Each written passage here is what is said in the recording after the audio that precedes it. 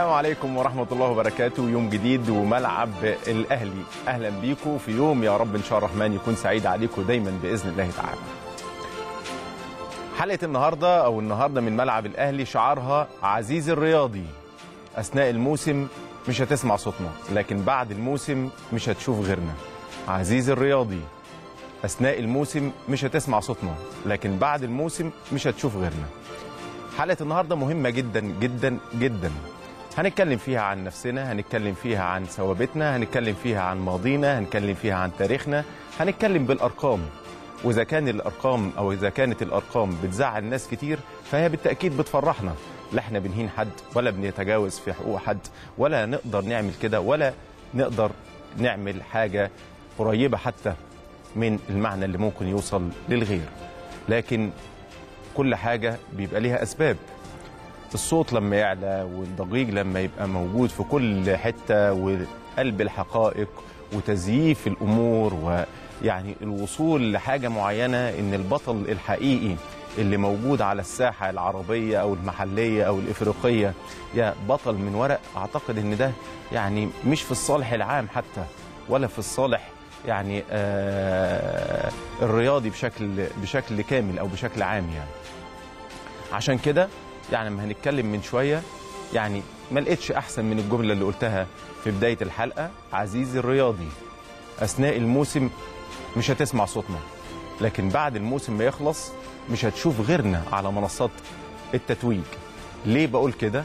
لأن كتير جدا يمكن في العشرين سنة اللي فاتوا قبل كده قلت في الستينات في السبعينات في الثمانينات كانت الأمور بسيطة جدا وعادية جدا وكان كل واحد من حقه إنه يقول رأيه أو يعبر عن وجهة نظره أو يقول اللي جواه مفيش مشكلة. في احترام متبادل بشكل كبير جدا ما بين كل أطراف المنظومة. لكن في العشرين سنة اللي فاتوا في الخمستاشر سنة اللي فاتوا بدأ الموضوع أنت مش قادر تجاريني في الملعب أو مش قادر تجاريني كأرقاب لأ أنا هشكك فيك الصوت هيعلى والنرفزة تشتغل والدنيا تبقى مش عارف ماشية إزاي مع إن أقوى الناس هم اللي سلاحهم العقل مش سلاحهم الصوت. أقوى الناس اللي سلاحهم العقل والتفكير. والتنفيذ بالتأكيد مش الصوت أكيد. عشان كده ما لقيتش غير إن أنا أقول في يوم زي ده إن مش هتلاقي صوتنا ابدا في أثناء الموسم لكن بعد بعد الموسم مش هتلاقي غيرنا على منصات التتويج. الظروف الصعبة والظروف اللا اراديه واللي هي بتبقى بتعمل حاجات سلبية ما بتجيش ابدا في صالح الأقوى. ما بتجيش ابدا في صالح الأميز. ما بتجيش ابدا في صالح المستعد والمحضر واللي عنده كل العناصر الكويسة. دايما الظروف الصعبة تيجي في صالح المنافس أو الأقل شوية في القدرات والإمكانيات. عشان كده هتلاقي من سنة 93 لما بدأت تبقى في تكنولوجيا وفي صوت وفي استوديوهات تحليلية وفي صورة وفي كاميرات وفي تعليقات وفي إعلام منتشر وفي حاجات كتير جدا كويسة بدأ الأهلي يسيطر على كل كل البطولات سواء كانت المحلية أو البطولات الإفريقية. ليه؟ لأن الغلط بقى يعني خلاص منظور بشكل كبير جدا من كل الناس. اللي كان بيحصل قبليه مش هيحصل دلوقتي. لو مثلا مثلا يعني من 93 لسنة 2000 سبع بطولات متكررة أو متتالية للنادي الأهلي محليا. ومن 2005 حدث ولا حرج افريقيا على المستوى الإفريقي. فاذا التكنولوجيا كل ما هتنتشر هينتشر معاها بريق ولمعان واسم ومكانة وحجم والنادي الأهلي.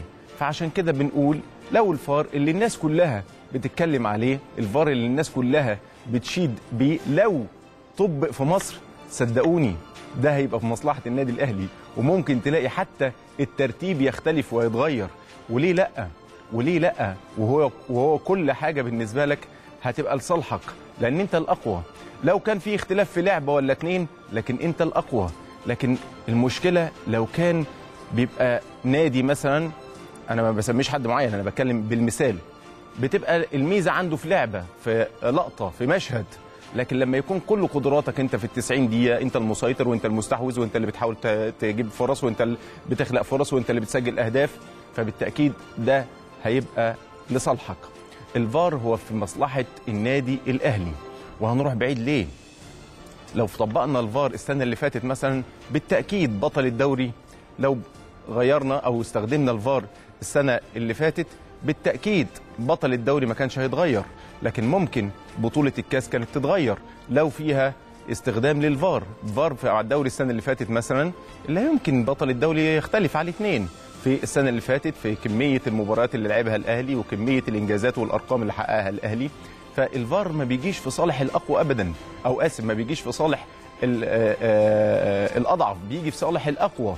واديتكم مثال لو طب لو تم تطبيق الفار السنة اللي فاتت كان الأهلي مش هيتغير بطل الدوري مش هيتغير لكن كان في مشاكل في نهائي آه، الكاس. الفار حاجة كويسة جدا ويا ريت كل الناس تطبقها. ده أنا هعمل كمان سؤال تخيلي. لو الفار ده كان من سنين فاتت اتعملت على السنين والبني آدمين الأشخاص يعني أو حتى بعض القرارات كانت أمور كتير هتتغير. عشان كده لما تيجي تتكلم مع حد يقول لك الأهلي ده منظومة الأهلي ده إدارة الأهلي ده سلوك الأهلي ده قيم الأهلي ده كمبادئ. وبعدين تقول له إحنا على الهواء يقول لك الأهلي بيكسب الحكام على طول. يعني من دقيقتين ثلاثة بيكلمك ويمجد في الأهلي لكن أول ما بتطلع على الهوا الدنيا بتبقى صعبة شوية. عشان كده برضه بر- برضه بقول عنوان حلقتنا النهاردة خدوها كل الأهلاوية. عزيزي الرياضي أثناء الموسم مش هتسمع صوتنا لكن بعد الموسم ما يخلص مش هتشوف غيرنا. أثناء الموسم عزيزي الرياضي أثناء الموسم مش هتسمع صوتنا. لكن بعد الموسم ما يخلص مش هتشوف غيرنا. لما جيت أعمل إحصائية رقمية وأنا بقول ده بقول ده لنفسي بقول ده لكل جماهير النادي الأهلي. لما تيجي تعمل هتلاقي إن أنت على مدار من سنة 48 لحد دلوقتي كل 10 سنين لو عملت على كل رأس مثلا 10 سنين بداية 10 سنين ونهاية 10 سنين من 48 ل 58 أو خليتها من 50 يعني أكن 48 49 49 و50 دي ما اتلعبتش مثلا يعني. من من من 50 ل 60 من 60 ل 70 من 70 ل 80 من 80 ل 90 من 90 ل 100 من آه، ل 2000 آسف للتسعينات ل 2000 ومن 2000 ل 2010 وهكذا وإحنا لسه دلوقتي من 2010 ل 2020 تلاقي الأهلي بيخسر مثلا يعني موسمين ثلاثة من عشرة. أقرب فرقة أقرب فرقة حققت يعني إنجاز بعد النادي الأهلي. النادي الأهلي حقق الدوري تسع مرات متتالية من 48 أو أكتر من كده بشوية لموسم 59 60 لحد ما قدر الزمالك إن هو يخطف اللقب بعد سيطرة كاملة من الأهلي تسع مرات متتالية. الأهلي هي الفرقة الوحيدة في مصر اللي خدت خدت الدوري تسع مرات متتالية ثمان مرات متتالية سبع مرات متتالية أربع مرات متتالية ثلاث مرات متتالية. أقرب فرقة عشان تعرفوا عظمة ومكانة النادي الأهلي. أقرب فرقة قدرت إنها تعمل الإيه؟ يعني قريب من الإنجاز ده كان أقصاها موسمين. وتحديدا طبعا نادي الزمالك عمل موسمين سنة 63 64 و64 65 ده بطولة الدوري وبعدين غاب عن المشهد دوت يعني كبطولتين ورا بعض دوري. خد الدوري مرة تانية سنة 91 92 و92 93 ثم الثنائية المتتالية في الدوري كانت موسم 2002 2003 و2003 2004 الأهلي يا سادة يعني هو ملك البطولات مفيش كلام. لكن دايما بيبدأ من حيث انتهى. يعني الأهلي كل ما بيوصل لحاجة بيبدأ تاني من جديد عشان يستعد للي بعدها سواء كان على النطاق المحلي أو النطاق الإفريقي. ناس كتير جدا جدا بتتكلم في موضوعات ليس لها أي أساس من الصحة اطلاقا خالص. إحنا لو ما وصلناش قلبك لما قدرناش لو ما قدرناش نوصل لقلبك كحب عايزين نوصل باحترام عايزين نبقى جوه قلبك محترمين. تحترمنا وتقدرنا. ويكون الاحترام الاحترام متبادل ما بيننا وما بينك. لو ما فيش حب يبقى في احترام حتى على يعني اضيق آه الظروف أو أصعب الظروف أو أصعب الأحاسيس. برضه بقول الكلام ده ليه؟ هو تمجيدا فيا تمجيدا في تمجي- تمجيدا في تاريخي. الاهلي يا راجل حتى لما جه يختار علم أو يختار تيشيرته فانيلته اختار التيشيرت الأحمر عشان علم مصر. الأهلي أنشئ 1907 وكان فكرته فكرة وطنية بحتة بحتة. يعني مش وقتها إن إحنا نتكلم فيها لأن اتقالت كتير جدا وقتلت بحثا. لكن في 1911 كان التيشيرت الأحمر هو علم مصر في الوقت ده. وكتير من الناس ما يعرفش إن لحد سنة 1923 كان علم مصر أحمر زي ما أنتم شايفينه كده. علم مصر أحمر. لحد 1919 ثورة 19 بدأت الناس تنزل في الثورة بعلم أخضر. وتغير العالم كله. معرفش الناس عارفة ولا لأ من 1923 من 1923 لحد سنة 1952 لحد ثورة 52 كان علم مصر هو الأخضر. وهتلاقي فيه فرق يعني لابسة أخضر. الله أعلم هي معلومة صح ولا لأ لكن استنتاج مني. لبست أخضر عشان كان علم مصر من 1923 ل 1952 كان علم أخضر. وبعد كده بعد ثورة 52 كان علم مصر اللي هو الأحمر والأبيض والأسود. فانت لما جيت اخترت فانيلتك اخترتها بعلم بلدك. ليه الأحمر؟ ليه الأحمر؟ لأنه كان علم علم بلدك. بنعتز بنفسنا جدا جدا. ولنا معتقداتنا لنا معتقداتنا. يعني مثلا على سبيل المثال مثلا يعني لو جدك الرابع أنا اسمي مثلا سيد محمد محمد عبد الحفيظ. عبد الحفيظ ده اللي هو جدي مات سنة 20 إن شاء الله لما نتقابل في الجنة بإذن الله لو لينا نصيب إن شاء الرحمن يا رب يكتبنا يكتب لنا الجنة يا رب. هو ميت وعارف إن النادي الأهلي اسمه النادي الأهلي. لا اتغير اسمه ولا اتغير مكانه ولا اتغير لون فانيلته. فدي أصول بنعتز بيها ما تزعلش. وما بل... ما. ما بنضايقش حد فيه. وبنطلع هنا في قناه نادينا نقول كده. ما بنقولش حاجة تانية. يعني بنقول. تاريخ تاريخ النادي بتاعنا. بنقول النادي بتاعنا تاريخه كذا. ما بنضايقش حد. بنتضايق في الوقت الحالي لما حد بيجيب سيرتنا عمال على بطال بالخير وبالشر. يعني بيجيب سيرتنا في أي حاجة. لكن برضه هرجع وأقول لك عنوان حلقة النهارده خدها يعني دستور في حياتك. أثناء الموسم مش هتسمع صوتنا. بعد الموسم مش هتشوف غيرنا. بتشتغل وبتحضر وبتجهز. بتختار لعيبة وبتشتري لعيبة. وحتى لما بنشتري لعيبة بيقولوا فضوا الأندية. ولما أي حد بيشتري لعيبة يقول لك عمل فرقة جبارة واشترى بكل الفلوس وعمل فرقة هايلة وبنى يعني اللي إحنا بنعمله بيبقى غلط. ولما أنت تيجي تعمله بيبقى مجد. الموضوع بسيط جدا. مقومات الإدارة. في علم الإدارة في علم الإدارة ممكن آخد خطوات وبعديها آخد قرار وأنت تاخد نفس الخطوات وتاخد قرار. أنا قراري يبقى صح وقرارك أنت غلط. أنت خدت نفس الخطوات صحيح لكن الاختيار كان الأهم. اختيار من يشاورك القرار أو من يساعدك على اتخاذ القرار من الإمكانيات والقدرات والأسماء والخبرات والشخصيات وعدم التطلعات. الموضوع هادي جدا. وبسيط جدا لكن يبقى دايما دايما اسم كبير جدا جدا. مش هتقدر تهزه ولا تقدر تحركه. وبقول لكل الناس وبشكر كل كل الصفحات الأهلاوية وكل الصفحات اللي, حتى بت- بتتكلم بالمنطق والعقل حتى لو ما كانتش أهلاوية. اللي دايما بتحكم بتحكم صوت العقل. دايما بتحكم صوت العقل. يعني تيجي تقول مثلا يعني 93 94 مثلا يعني زي ما قلت من شوية كده يقول لك بالحكام. فضوا الأندية في 2000 فضوا الأندية. خدوا كل الأندية. ولو حد خد بطولة تانية يقول لك عمل فرقة كويسة جدا واشترى لعيبة هايلة واشترى وعمل سيستم محترم. هي دي مقومات المكسب. مقومات النجاح. ساعات بتجيلي أفكار كده ساعات. ممكن أكون محق فيها ممكن ما أكونش محق فيها لكن بتجيلي اللون الأحمر ومدى عظمته وخصوصا في الفرق الرياضية. ربط غريب وعجيب وكأنه حقيقة كونية. عجيب. ما بين أبطال العالم في الأندية على مستوى الدوريات الأوروبية الكبيرة بالتيشيرت الأحمر. بايرن ميونخ من أعظم الفرق اللي موجودة في العالم على الإطلاق. على الإطلاق. التيشيرت بتاعها. بايرن ميونخ. الأهلي. بعد بايرن ميونخ كدوري ألماني وكل البطولات وكل الإنجازات اللي موجودة في ألمانيا هتلاقيها مع بايرن ميونخ صاحب التيشيرت الأحمر. ليفربول. أعظم الأندية الإنجليزية على المستوى الأوروبي.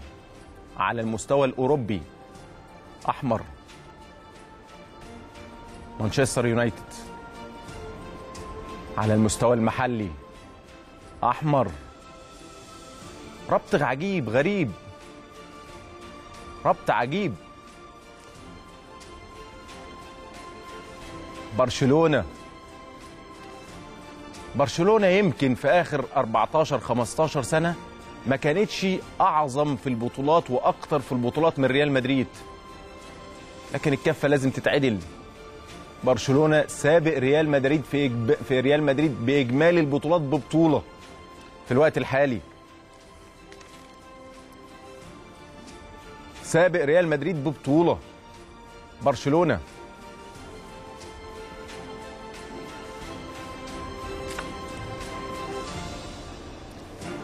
هتبص على الدوري البرتغالي مثلا هتلاقي بنفيكا. الدوري البرتغالي بنفيكا أحمر.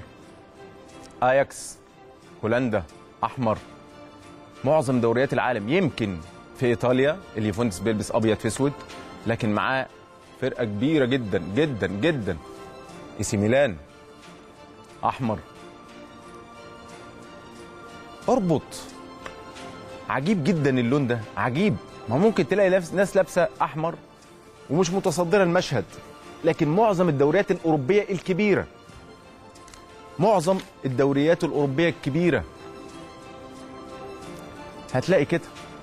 لون عجيب لون غريب جدا. يخطف العين يخطف القلب. الانتماء رهيب جدا. ليفربول ليفربول يعني رغم بعد عن الساحة لكن عنده جمهور رائع. وبنبارك لمحمد صلاح النهارده كمان يعني أحرز هدف المكسب. فخر مصر وفخر العرب فعلا فعلا. لون بيجري في العروق. لون حبه عجيب غريب. لون مرعب. مرعب. لون منطقي جدا. لما بيحصل له انتكاسة ولا انكسارة ما بيجيش أي مبررات. صوته ما بيعلاش بيشتغل. بيقفل على نفسه أوضته أو مكتبه.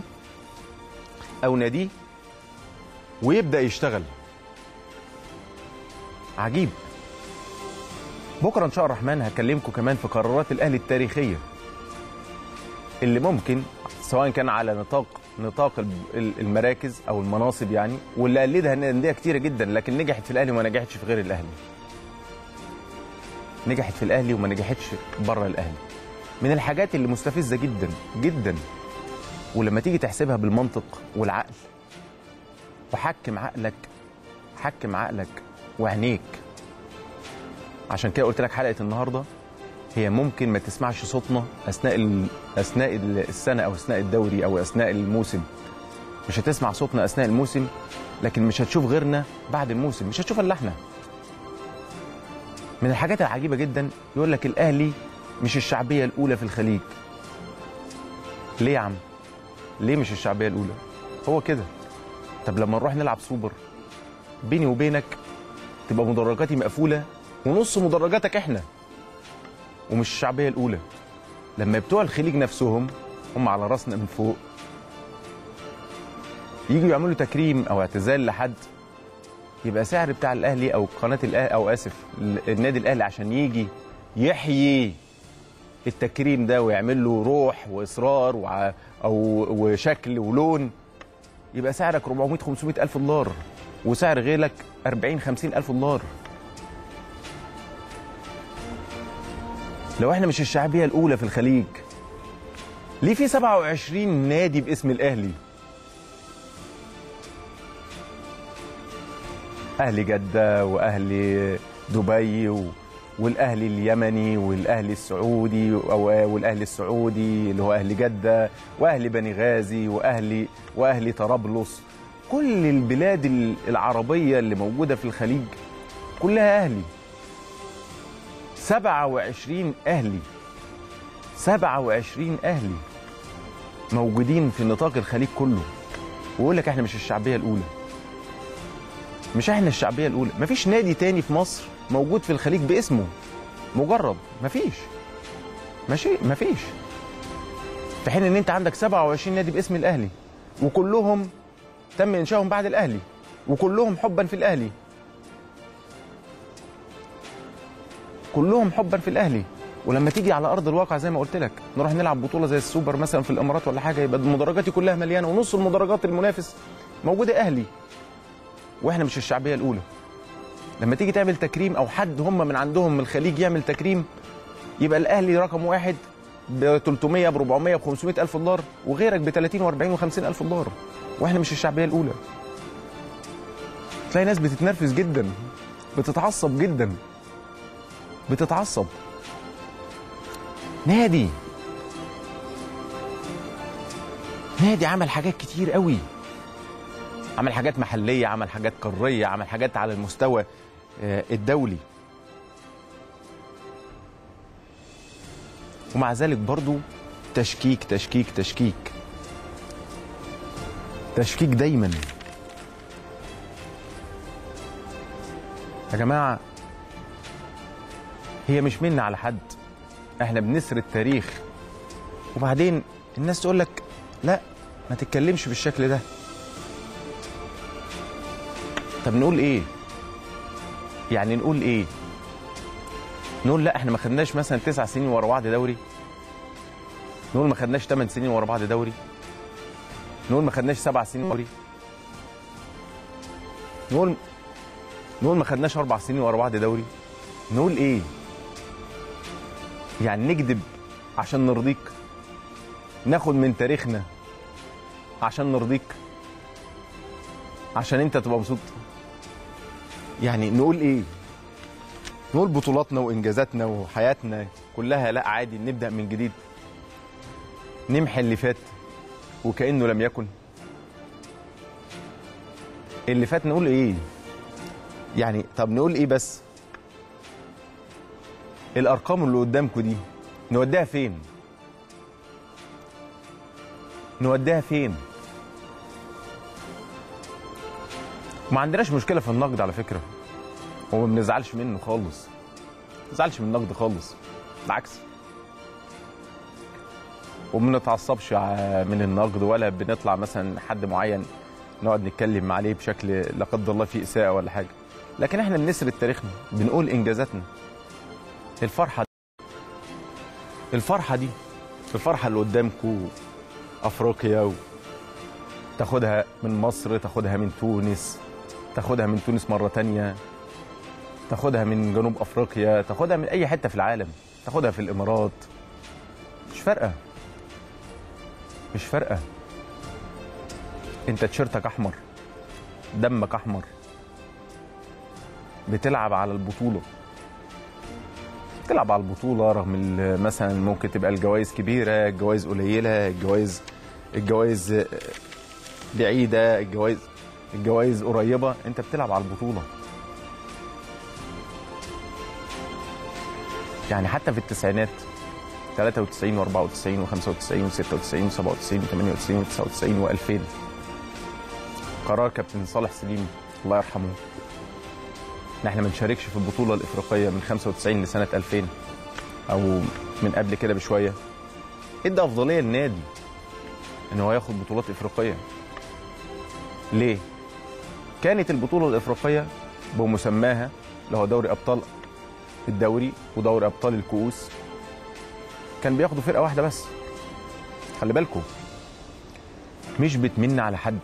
أنت بتقول تاريخ.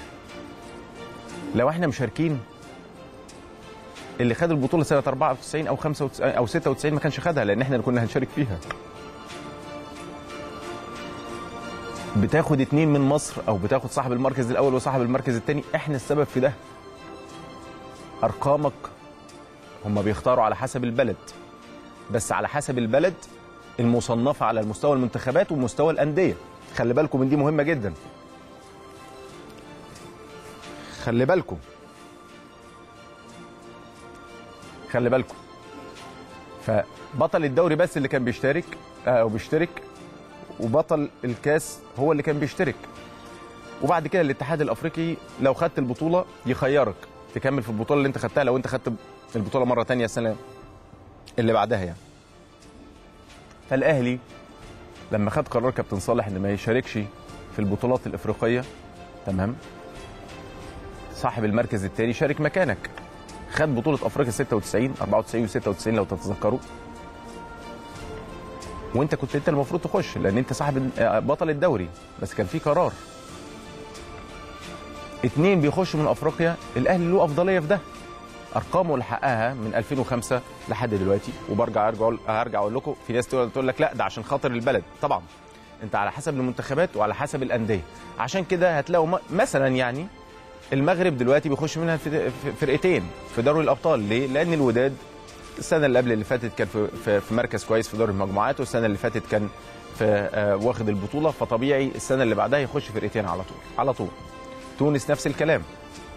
الترجي بإمكانياته وقدراته اللي كان واخدها في العشر سنين اللي فاتوا ووصوله لدور الثمانيه ودور قبل النهائي و آه، وبطولة 2011 تقريبا يعني لم تخن الذاكرة هو اللي خدها الترجي.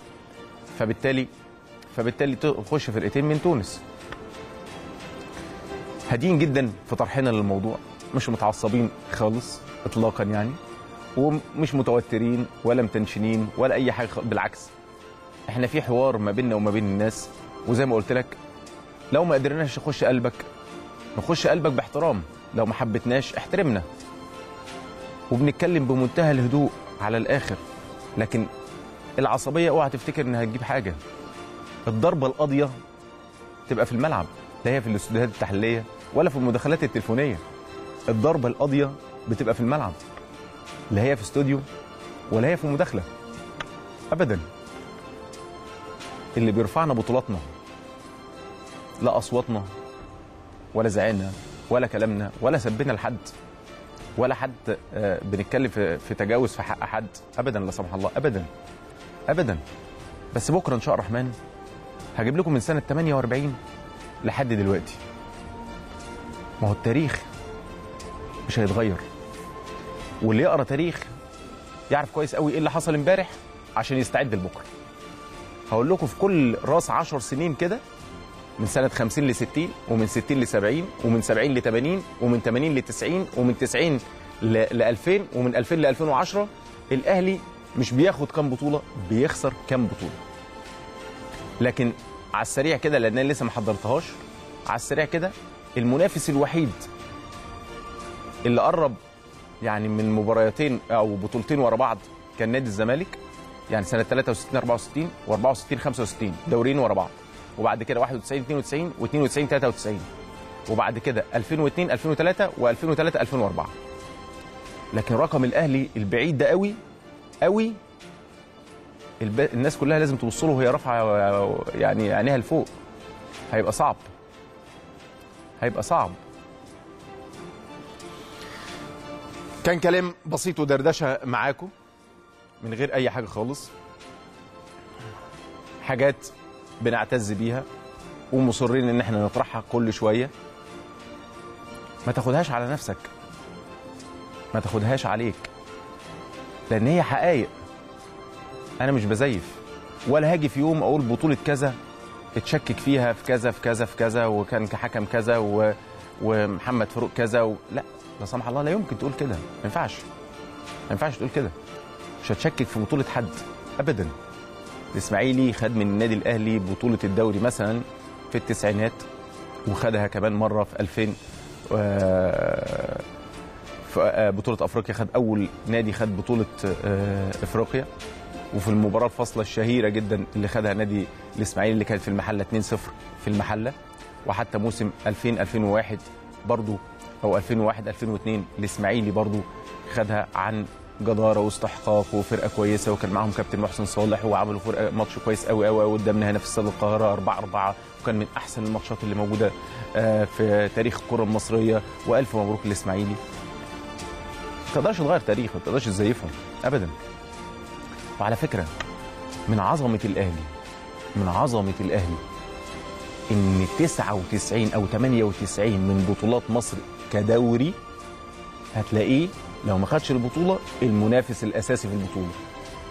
لكن أنت ممكن تلاقي حد مثلا في الترتيب السادس حد في الترتيب الرابع حد في الترتيب الثالث مرة يبقى الثاني مرة تبقى الثالث مرة يبقى الخامس. مرة آه، الإسماعيلي ثاني إنبي مرة خد ثاني نادي الزمالك آه، آه، المصري بيحاول. لكن كل البطولات يعني تلاقي الإسماعيلي مثلا خد بطولات الدوري من الأهلي. خد حتى كأس مصر في آه، في التسعينات 97 من الأهلي. نادي الزمالك لما ياخد البطولة المنافس للأهلي وهكذا. ودي من عظمة الأهلي. حتى البطولات القليلة اللي خسرها كان بينافس لحد آخر ثانية. ممكن موسم أو اتنين طلع النادي الأهلي كان وخصوصا في بداية التسعينات نهى رابع ولا حاجة مش فاكر بالظبط نهى رابع. لكن ده تاريخ. ما تزعلش منه وما تضايقكش. لا تزعل منه ولا يضايقك. وبكرة لكل الأهلاوية. انت ممكن تقراها على الانترنت أو ممكن تقراها في المواقع لكن لما تتعرض قدامك تعرف يعني إيه الاهلي حتى لو في خساره في يعني اهتزاز مستوى في أي وقت من الوقود أو, أو الأوقات آسف أو أي وقت من من الأوقات أو أي عصر من العصور هتلاقي برضه تشتغل وتقفل على نفسك بابك وتشتري لعيبة. تشتري لعيبة اللي أنتوا كنتوا مسميهم مسمينهم زمان ان انت بتفضل انديه دلوقتي بقى تدعيم. يعني زمان كان بتفضل انديه دلوقتي تدعيم. مش مشكلة. اللي يقول لك إحنا آه أنت رقم تانية آه شع- صاحب الشعبيه الثانية في الخليج. قول له يعني الله يكرمك اديني بالعقل والمنطق. أنت لو قابلت حد وقال لك أنا مش أهلاوي ولا حاجة ده مش مقياس على البلد. دايما في التسويق أو الحاجات اللي هي خاصة بالأمور التسويقية لا, لا علاقة بالإعلانات واللي بيدفع فلوس بيروح للحاجة اللي هيبقى لها مردود. الأهلي سعره في الخليج أو في البطو أو في الدول اللي ممكن يبقى فيها تكريم أو اعتزال 300 400 500 ألف دولار. في حين إن غيرك ممكن يبقى 30 أو 40 أو 50 أو 60 ألف دولار. فرق كبير جدا. شعارنا النهارده في الحلقة دي في الحلقة دي أثناء الموسم مش هتسمع صوتنا لكن بعد الموسم مش هتشوف غيرنا. ده كان كلامنا النهارده في البداية. اعتزوا بناديكم افرحوا بإنجازاته وبقدراته خلوا عندكم ثقة في كل ناس في المنظومة في آه، النادي الأهلي. بكرة كمان هقول لكم زي ما قلت يعني اتفقنا كده من بداية الدوري لحد دلوقتي وهقول لكم القرارات اللي خدها الأهلي ونجح فيها واللي قلده غيره ما نجحش فيها. خالص. وإيه السبب؟ حتى المناصب اللي ابتدعها الأهلي واللي عملها الأهلي واللي حاول غيره إن هو يعملها ليه الأهلي نجح وليه غيره ما نجحش؟ على العموم دي كانت مقدمة خفيفة كده. النهارده هيكون معانا طبعا بعد شوية بعد الفاصل اللي جاي هيبقى معايا كابتن حلمي طولان كابتن حمادة صدقي كابتن أسامة حسني. هنتكلم على الدوري المصري اللي بدأ فعالياته امبارح. هنتكلم على مباراة النهارده وحيدة شهدت آه، آه، آه، لقاءات الدوري. كانت جمعت ما بين المصري والاتحاد وانتهت ب 2 2 وكانت مباراة كبيرة جدا جدا جدا في كل أوقاتها. هنتكلم في مباراة بكرة هنتكلم في السوبر ال- الإماراتي اللي انتهى من شوية بتفوق الوحدة على العين الإماراتي بعد التعادل 3 3 شوط أول للوحدة 3 0 وشوط ثاني للعين 3 3 وبعد كده ركلات الجزاء يعني قدر الوحدة إن هو يتفوق وينهي السوبر لصالحه. طيب إيه تطلع فاصل يا سمير؟ نطلع فاصل ومكملين معاكم.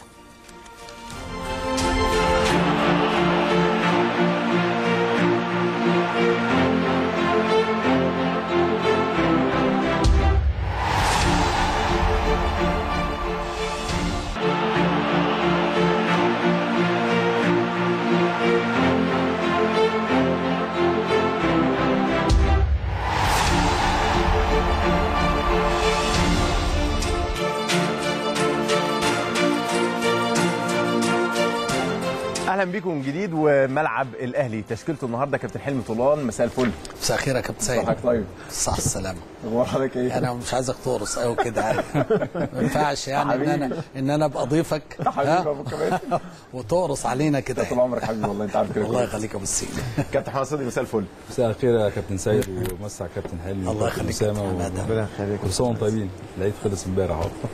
كابتن أسامة. مساء الفل. كابتن أسامة الألماني. آه طبعا. ألماني ألماني. لا والله. كان شوية كلمه عربي. لسه جاي لسه جاي. ألماني لسه جاي من المانيا طب كويس. يعني الحمد لله حلمي السلامه يا اسامه بالالماني عامل الحمد لله إيه؟ الحمد لله على السلامه يا اسامه الله يسلمك. يا كابتن حبيبي. كابتن حلمي يمكن فعاليات الدوري الدوري بدأ يسخن ولا لسه شوية؟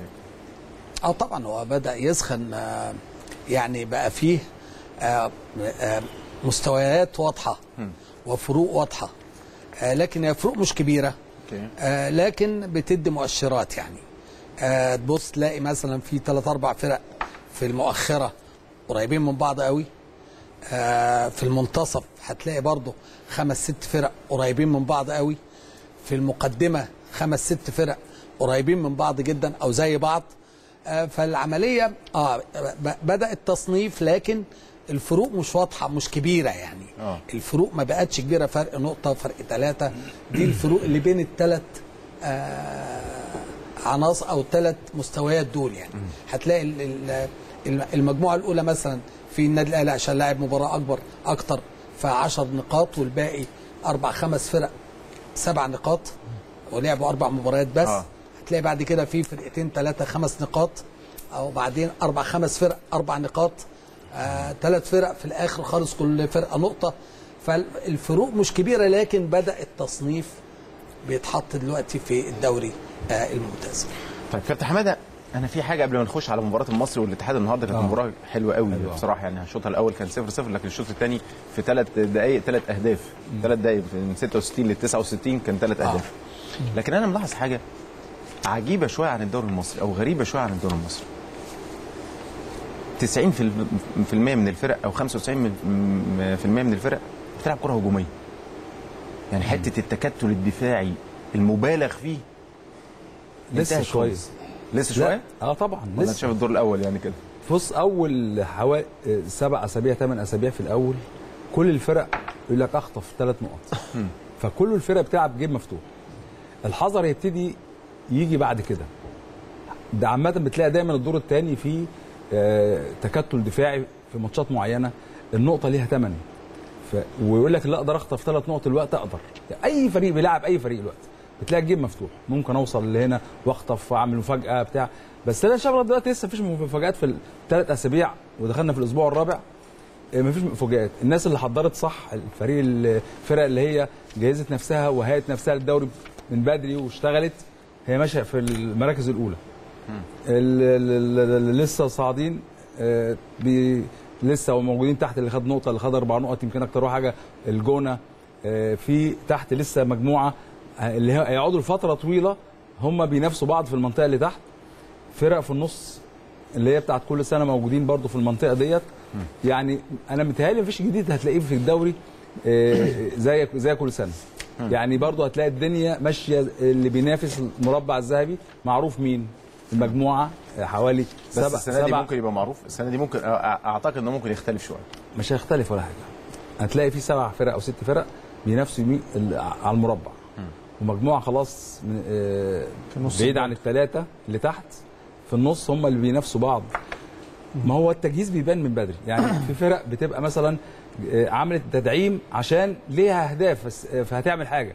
بس آه، آه، مثلا فريق جديد زي بيراميدز مجهز. مجهز لعيبة وجهز وإمكانيات موجودة واختار. أكيد ده باصص لحاجة قدام. آه، في انبي ابتدى يرجع تاني بشكل كويس. آه، سموحة. بقاله كذا سنة ماشي كويس آه، بس يمكن بعد شوية عن المشاركات الأفريقية. ما هي البطولة بالنسبة للفرق دي للمشاركة الخارجية. يعني في فرق بالنسبة له البطولة مش مش بطولة الدوري. بطولته اللي هو يشارك مشاركة خارجية. كونفدرالية آه، بطولة دوري أبطال. ده بالنسبة له يعتبر خد بطولة. حسب الإمكانيات الموجودة عنده والمتاح اللي أنا أنا أنا واقعي في الكلام أصل شوية في إيه؟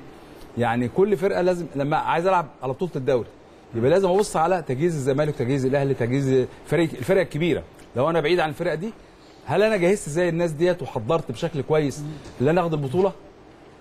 لكن ما ما بقاش أنا مش محضر وما عنديش إمكانيات اللي موجودة عند الفرق الكبيرة وأطلب إن أنا أخد الدوري. أبقى أنا راجل بفكر آه، آه، مش مظبوط منطقي. بفكر مش منطقي. فهو خ- واقعي آه بس بدي حافز أكتر للاعبين أكتر من الموجود عندي عشان أعلى شوية. أوصل آخد منهم أحسن حاجة. بالظبط. لكن آه، لغايه دلوقتي لعبنا زي ما قلت ثلاث أسابيع والرابع ابتدى ولسه ناقص له مثلا ماتشين ثلاثة الأمور ما فيهاش مفاجآت كبيرة. يعني اللي ظهر من تحت آه، الجونة عملت مط- كسبت ماتش وتعادلت ماتش وخسرت يعني في ثلاث ماتشات. الحرس زي ما هو دجلة بيعاني برضو مع إنه قدم مباراة كبيرة. قدام النادي الأهلي ولكن خسر من النادي الأهلي وموجود هيعاني شوية. يعني لاعب لاعب أربع ماتشات عنده نقطة واحدة فبيعاني. والجيش في أكتر من فريق لسه ما دخلوش جوه ال- الدوري. بياخدوا بياخدوا أسابيع على ما يخش وابتدي اللعيبة حتى لو عندك لعيبة جدي- جديدة على الدوري الممتاز لعيبة تدعيمات جديدة بتاع تحضيرك ما كانش جيد قبل الموسم. بيأثر عليك في أول ثلاث أربع اسابيع مش تحضير بس يا كابتن حماده أنا أعتقد إن الاختيارات برضه. ما هو ده تحضير. ما ده تحضير. وال- مش وال- لازم الإعداد مش قصدي مش أنا ما بقصدش بالتحضير الاعداد بس. أيوه أيوه. إعداد وتدعيماتك. كمان ال الإمكانيات بيبقى لها دور كبير جدا يا كابتن سيد. آه. أنت شايف دلوقتي ال- الأسعار بقت عاملة إزاي؟ والسوق بقى عامل إزاي؟ وكله بيبقى ليه اتجاه لنادي أو اتنين أو ثلاثة على الأكثر صح. ما فيش أكتر من كده آه، يعني. الأندية الجاذبة اتنين ثلاث ثلاث أندية الباقي آه يعني ما بقاش جاذب بالشكل ال- ال- المرجو عقلية في اللعيب. ناس مم. في ناس ما عندهاش أي إمكانيات في فرق ما عندهاش أي إمكانيات فبالتالي بيبقى اختياراتها محدودة جدا محدودة الإمكانيات الفنية. فبالتالي بتعاني وده وضع طبيعي جدا. بس طب أنا- الاتجاه دلوقتي يا كابتن سيد برضه تكملة لكلام الكابتن حلمي إن إحنا بدأنا نشوف دلوقتي لعيبة بتظهر من دوري القسم الثاني. آه. يعني شفنا النهارده بتروجيت كابتن طارق يحيى آه، دعم بتروجيت بلعيبة وغير التيم تماما ودعم بشكل كبير من دوري القسم الثاني. بدأت تظهر أسماء دلوقتي بدأنا نشوف أحمد زولا، من الشبراوي اللعيبة اللي ظهرت. محمود الشبراوي. الشبراوي. الشمس زولا ده جاي من الشمس الشبراوي برضه في في الجونة. وشيكابالا في, في إنبي. كويس. بدات الإنتاج الحربي برضه. بدأ يدعم من القسم الثاني دي تكملة كلام الكابتن حلمي إن الأسعار بقى مبالغ فيها جدا. جدا. فالنهاردة ما أقدرش أجيب أنا ب 15 مليون و20 مليون و10 مليون و5 مليون كمان. فأنت بتتجه دلوقتي اللي عنده قاعدة في قطاع الناشئين زي المقاولين العرب زي إنبي. زي آه، الأندية- زي الإسماعيلي في وقت من الأوقات ممكن هنلاقي في وقت من الأوقات آه، برضه قطاع الناشئين بيدعم بلعيبة فاللي عنده الذخيرة بتاع قطاع الناشئين وعنده ناس عينيها كويسة وبتتابع دوري القسم الثاني هي دي اللي هتقدر تستمر في ال- بعد كده في ال- طب عندي. سؤال يا كابتن حلمي مرتبط بال بال بال بالمدربين نفسهم. أيوه هل ده واقع ولا ولا آه آه أنا يعني استنتاجي غلط؟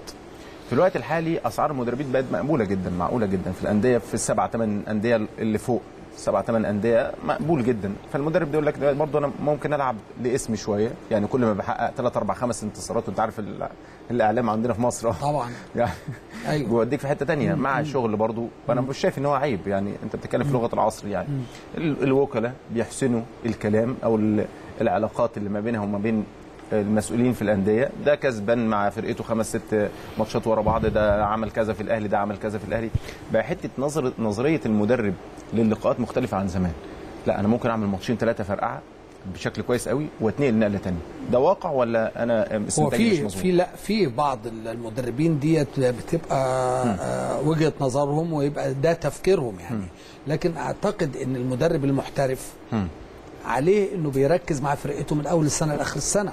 أوكي. آه، ما ما يفكرش إنه مثلا آه،. السنة دي آه، أكسب لي خمس ست ماتشات ولا سبع ماتشات وأعمل شو كويس وبعد عشان أتنقل لنادي تاني.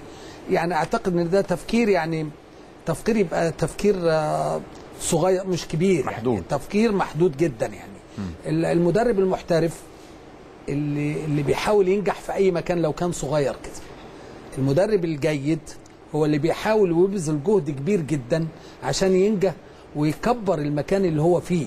بالرغم من من من, من صغر حجمه ده أنا أبذل أقصى ما في وسعي عشان أكبر المكان ده وأدي للمكان ده قيمة فنية كبيرة جدا. بغض النظر عن أنا أروح فين السنة الجاية بالنسبة لقد إيه موجود اللي بتقوله ده كده والله يا كابتن سيد أنا شايف إن المدربين الكبار كبار واللي عندهم خبرات هم اللي عندهم التفكير ده. إنما ال- ال- المدربين الصغيرين اللي لسه طالعين واللي لسه بقالهم سنة أو سنتين هو ده تفكيرهم اللي أنت بتقول عليه. التفكير اللي بتقول عليه حضرتك ده هو ده تفكير الولاد الصغيرين اللي ما عندهمش خبرات والمدربين اللي لسه بقالهم سنة أو سنتين في الدوري الممتاز. طيب إحنا مش خارجين على الموضوع يا كابتن حمادة كابتن أسامة لأنه مهم جدا. لو أنت عايز كرة حديثة أو كرة مستقبلية للكره المصرية بشكل حلو قوي لازم الحاجات دي تكون مهمة جدا. تبص لها بشكل كبير قوي المدرب ده هو مش واقف على الخط وخلاص. يعني مش واحد واقف على الخط وخلاص أو واحد جايب سبورة وبيعمل آه، حاجة حاجات آه، لا أو واحد بي بينقل تمرينات من بره يعملها في فرقته. آه. آه دي حاجة غريبة جدا برضه. أو. علاقته كويسة برئيس نادي. أو علاقته كويسة. لا أو علاقته كويسة ب ب ب بالشركات الراعية. آه. أو علاقته كويسة ببعض وكلاء اللاعبين. آه. هو كده. بتتكلم على مواصفات العملية بتدار بالشكل ده يعني. يعني بتتكلم على المدرب لازم المدرب بيشتغل على نفسه زي ما اللعيب بيشتغل على نفسه. أكيد المدرب لازم يشتغل مع على نفسه كويس جدا ويجدد طموحاته كل سنة. يعني كل فترة واجدد تفكيري بجدد آه، آه، قراءتي لل- لل- للشغل. باخد خبرات من ال- يعني كل سنة بقعدها في الدوري. أنا باخد خبرات. يعني أنا أول ما اشتغلت ال- في الدوري أكيد أول سنة غير تاني سنة غير تالت سنة. كل وقت بقى, بقى عندي خبرات أكتر. لازم أشتغل على نفسي بشكل كبير جدا عشان أقدر أعمل يعني تكملة كلام الكابتن حلمي. حتة العقد لما ببقى عامل عقد سنة مع نادي آه، بالذات لما اكون بادئ الموسم من الأول معاه. بتبقى محضر أوراق عمل معينة لازم بتشتغل عليها بشكل جيد جدا على قد الإمكانيات الموجودة عندك. آه، آه، أهداف بتبقى موجودة عندي مكتوبة مك- مكتوب الأهداف اللي عندي. آه، الأهداف اللي هي الفنية وال- والتسويقية بالنسبة للنادي طموحات وال- والطموحات. في حاجات كتيرة جدا يعني بتبقى مشتركة مع المسؤولين مع مجلس الإدارة مع لجنة الكورة. هدفنا إيه السنة دي؟ هنشتغل إزاي؟ دي الخبرات اللي بتاخدها من خلال شغلك في التدريب. فالمدرب لازم يشتغل على نفسه كويس جدا آه، عشان يقدر ينفذ الكلام ده على أرض الواقع. يبقى ملامم بكل الأمور الإدارية كمان عندك آه، بتدير. يعني أنت أنت كمدير فني بتدير منظومة آه، مجموعة عمل مدربين إداريين جهاز طبي جهاز فني إدارة إدارة اللاعبين دي ليها طبعا وحسب النادي اللي أنت فيه برضه يعني كل نادي اهدافه اهدافه اهدافه يعني نادي الزمالك مختلف عن الأهلي عن الإسماعيلي عن الفرق اللي صاعده آه. في كل نادي ليه هدف يعني اللي فيه فرق صاعدة وإمكانياتها محدودة بيقدر بي بيشتغل هدفه اللي هو البطولة بالنسبة له هو قاعد في الدوري. تحقيق هدف. صح. في فرقة بتبقى آه، هدفها أبقى رابع. ده هدف اللي أنا بسعى عليه بسعى بإمكانياتي الموجودة عندي. يبقى عندي خمس فرق هنافسهم. هم دولت التارجت بتاعي الهدف بتاعي اللي أنا هنافس مع دول عشان أخش هنا. في فرق ثلاث أربع فرق بتخش ده أنا عايز ألعب على البطولة. يبقى ده ليهم أهداف و... واللي الأهداف دي ليها متطلبات تبقى موجودة عندي عشان أقدر أحقق الأهداف اللي موجودة عندي. فده شغل وبعد كده مفيش شغل فردي دلوقتي. يعني مفيش مثلا المدرب الدكتاتور اللي هو بيشتغل لوحده مش هينفع. لازم يبقى في مجموعة عمل. هو ده النجاح. يعني زي الفرقة بتلعب آه، 11 لعيب في الملعب وعندك ناس بره. دي مجموعة لاعبين بيلعبوا مع بعض بيعملوا تكتيك مع بعض في الملعب. أنت اللي عامله له طبعا. انت كمدرب برضو لازم معاك جهاز فني. ناس بتساعدك بت بت بتنور لك حاجات كتيرة جدا بتساعدك في شغلك. عشان طبعاً. انت م- مش هتعمل كل حاجة. انت ليك حاجة معينة انت بتدير الكل بيشتغل. الكل بيشتغل من خلالك. بالظبط خلال- كده. آه بس. انت اللي بتدير المنظومة كلها وناس بتساعدك في حاجات كتيرة جدا. فكل شغل مدرب ليه شغل كتير قوي. بص أنا دايما أقول إيه في أي أمور في حياتي عامة أقول لك الاختيار هو اللي بيؤدي للاستقرار. يعني يقول لك إيه الجواز استقرار. مثلا مش عارف استقرار إيه واستقرار اداري واستقرار فني واستقرار واستقرار واستقرار. انت اخترت الأول صح؟ بالظبط كده. اخترت صح؟ بتبني صح من الأول فبتمشي الطريق صح. آه. أوكي. آه. طيب أسامة الفكر برضو بتاع اللعيبة مختلف. يعني حتة إن أنت تاخد أربع أجانب على فكرة أنا مش أنا مش معترض على أربع أجانب. آه. خالص. والسنة اللي فاتت قلت طالما أنت سمحت بالأربعة العب بيهم. يعني ما تبقاش ثلاثة وواحد قاعد بره يعني. أوكي؟ الفكرة كمان بقى مختلف عند عند اللعيبة يا كابتن أنا. بس ضدك في حتة أربع أجانب ده يا كابتن سيد. يعني من وقت ما طبق حتة أربع أجانب ودلوقتي في اتجاه إن آه، خمس أجانب انت النهارده لما بتتكلم في أربع أجانب وخمس أجانب أنت بتتكلم في على الاقل في نص ال team. طب النهارده أنت عندك فرص كتيرة في قطاع الناشئين. هتدي إمتى الفرص لل- لل- لل- للاعبين بتاعت قطاعات الناشئين دي؟ النهارده لما يبقى عندك العدد ثلاثة ده يعني مثلا تلت ال team فدي تبقى مقبولة. بس أربعة كتير. النهارده أنت بقول لك لازم تعتمد على قطاعات الناشئين لازم تفرغ المنتخب مصر. ال- ال- ال- الحاجة المهمة برضو دلوقتي إحنا بندور ورحنا في كأس العالم وكان في كأس الأمم بندور على راس حربة مش لاقيين. في وقت من ده, الأوقات ده سؤال في اللي جاي في يعني وقت من الأوقات كان دخلت حراسة المرمى آه كان لاعب أجنبي وكان الكابتن حلمي ماسك وقتها حرس. الحدود. وكان في كاميني وكان. في في المقاولين وفي في كذا نادي. فكان في مشكلة في حراسة المرمى في منتخب مصر. بعد كده اتطبقت حتة حراسة المرمى. لا لازم يبقى عنصر مصري وبعد كده تجاوزنا ال- ال- ال- المرحلة دي. النهارده انت تبص على يعني النهارده عندك في النادي الأهلي في رأس الحربة في وليد ازارو الزمالك كاسونجو إسماعيلي مندوجا إنبي نوح وائل المصري اتحاد سموحة طلائع الجيش بيراميدز مصر مقصه ودي كل الفرق عندها. كل الفرق عندها رأس حربة أجنبي. فأنت عندك مشكلة دلوقتي في, في رأس حربة في, في, في مصر. هي ممكن منها الأندية حتى الأندية الصغيرة اللي لسه صاعدة. برضو بتجيب عنصر أجنبي. دي ممكن تبقى فيها حاجة تسويقية إنك أنت ممكن تجيب بسعر قليل بعد كده تبدأ تسوقه. آه مقبوله بس أصبح عندك النهارده حتة مشكلة في ال- في رأس الحرب. ف بس خلي بالك يا اسامه برضو أنت أنت فاربع أربع أجانب كتير. حد أنا- يقول آه، تعقيب أو كلام؟ آه هقول كلمة على الموضوع ده. أنا إمتى أخلي الأجانب أربعة وخمسة وستة؟ وأنا لو أنا بطلع أربعة وخمسة وستة. يحترفوا بره. أيوه. بره واخد بالك؟ أوروبا بتعمل كده. يعني هتلاقي في, ال- في في إنجلترا مثلا الفرقة مانشستر سيتي مثلا فواحد أو اثنين إنجي... الأرسنال ما فيهاش حد مثلا. آه. الاوقات بس هتلاقي برضه لعيبة كتيرة جدا برضه محترفة طبعاً. في الدوريات الأخرى. أسباني ده, والايطالي ده, ده مهم جدا انك إن يبقى عندي لعيبة تقدر تحترف بره بس هقول لك على حاجة كابتن حلمي بس خدوها مني يعني. السنين اللي جاية غير اللي فاتت. السنين اللي جاية ال 17 وال 18 وال 19 سنة اللي جايين للولد يعني اللي شايف نفسه بشكل كويس تمام صعب تلاقيه يكمل في مصر كتير خلي بالك أيوه بس يا ريت أنا بقول لك كده والله؟ ده لأن- كويس. لأن أنت النهارده العالم كله بقى مفتوح ما هو ده ما العالم ده كله ما ده اللي أنا بقول لك عليه زمان. يعني أنت فاكر وإحنا 17 و18 آه سنة. اللي كان يجي له عقد احتراف أنتوا جالكوا انت؟ عارف أنت ناسي آه طبعا أنتوا جالكوا كتير بس ما كانش ما فيش ما فيش العقلية بتاعت الوقت الحالي. حتى بتاعت اللعيب يعني آه، أنا كانت أمنية حياتي تركب ال 128 لكن لكن أنا كان عندي عربية كده لذيذة كده كنت نفسي أشتريها منه. أنا لازم إيه؟ لازم عشان أجيب أربعة وخمس أجانب يبقى أنا ضروري أصدر لبره زيهم. آه. عشان منتخب ما يتضرش. إنك أنت دلوقتي ما انتش عارف مين هيبقى راس حربة منتخب مصر طب ده سؤال ف... في فقرة من فقرات الحلقة النهارده. مش أيوة. عايزين نحرقه. أيوه. نخش في ال... في في ماتشات النهارده ولا حد عايز يضيف أي حاجة في ال- لا، لا. في المنطقة اللي اتكلمنا فيها؟ لا، يعني؟ بتكلم على ال- أنت عايز تخش في الاحتراف؟ يعني بتكلم. ولا عايز ترجع للهواة؟ لا هنخش في احتراف. احتراف. خلاص يبقى بكل... خلاص ال- بس أسامة عايز يقول تدريجي يعني. بس يا كابتن هو أنت عايز تقول كده يا أسامة؟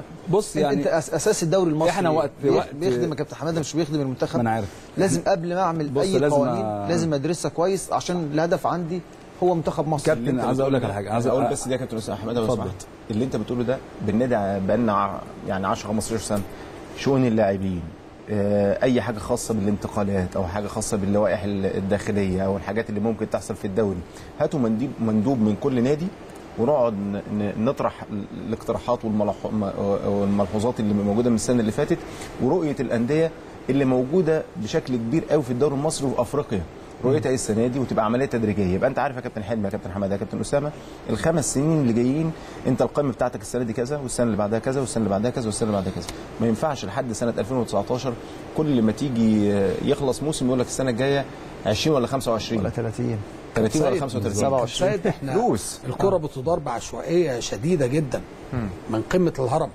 إحنا بندار بعشوائية ولذلك آه، بطولاتك وإنجازاتك برضو بتبقى عشوائية ما بتجيش متتالية. عايز system آه. أنت طب الحتة دي بس عشان في نخش system. في, في طبعاً. آه هنخش لها. في جزء من الحلقة. اتفضل يا كابتن آه، حماد عشان نختم لا كنت. بتكلم على حتة ال ال ال انت طالما دخلت في الدوري المحترفين يبقى الموضوع خلاص. واللعيب الجيد بيفرض نفسه. أوكي. يعني اللعيب المحلي الجيد بيفرض نفسه داخليا وخارجيا. فمهما تجيب أجانب اللعيب ال- الخامة الجيدة ال- ال- المصري هتلاقيه هو واخد حقه وبيلعب. لكن آه، آه، الأندية دلوقتي بتشارك في بطولات كتيرة. يعني ال- الأهلي الزمالك إسماعيلي بلعب مش بلعب محلي بس بلعب آه، أفريقي وعايز أوصل لكأس كأس عالم الأندية. يعني فمحتاج اطعم ودعم عشان الخصم بتاعي عامل كده. يعني إحنا ساعة يعني لازم أقول قد حق مثلا الكابتن أحمد سليمان في موضوع حراس المرمى. آه، كان أيام ما كان موجود الأجانب في حراس المرمى يمكن قعدنا مع كابتن سمير زاهر بس صاحب الفكرة كان أحمد ك... أحمد سلمان آه قال له إحنا عايزين نمنع السنة الجاية الحراس الأجانب. كانت. كانت مرحلة مهمة بالنسبة لنا فاتمنعت ظهر حراس كتير. لكن بتلاقي حارس جيد جدا قاعد حارس أجنبي بس هو كويس بس ما بياخدش ماتشات. والماتشات دي بالنسبة له مهمة جدا. فكانت دي مرحلة. مرحلة وعدت خلاص. وظهر بقى آه، حراس على مستوى جيد جدا واحتراف وكل حاجة. فهي مراحل مراحل بس النهارده ما نقدرش نرجع لورا نقول لا مش هن مش هن هنقلل الم- الم- المحترفين أو الأجانب الاحتراف ما فيهوش كده لا. ما فيهوش كده. آه إحنا طالما دخلنا خلاص بقى تكمل عشان أنت ليك مشاركات تاني بره. أوكي. وأنا أنا أنا أنا أروح للرأي رايي الشخصي يعني.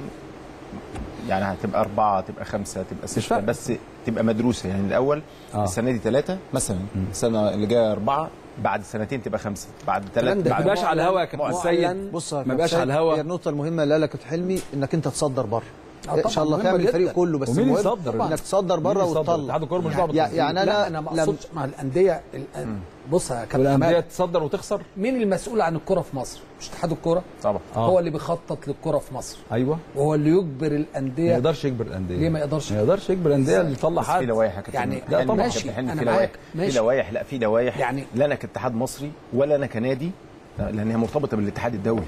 ماشي يعني زي ما بقول لك هو 18 أيوة، سنة. 18 سنة يطلع. 18 سنة خلاص. لو أيوة. انت بقى يعني طب ما أحمد على- حسام ميدو يا جماعة طالع 16 سنة.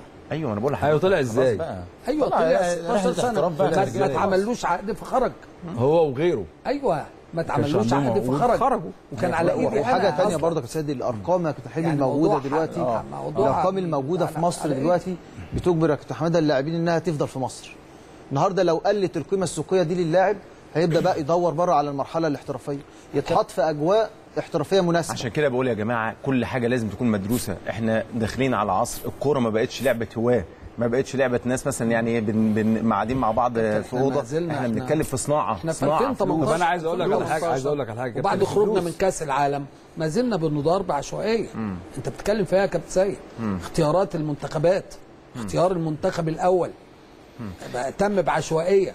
اختيار العناصر المساعدة للمدير الفني. تم بعشوائية. طالما رئيس الاتحاد عايز كده يبقى هيبقى كده. بدون دراسة وبدون آه، أي رؤية مستقبلية يعني. فإحنا بنتمنى إن يبقى الإدارة رب عشان الكرة المصرية. احترافي عشان مصلحة الكورة. خش بقى في السوبر الإماراتي.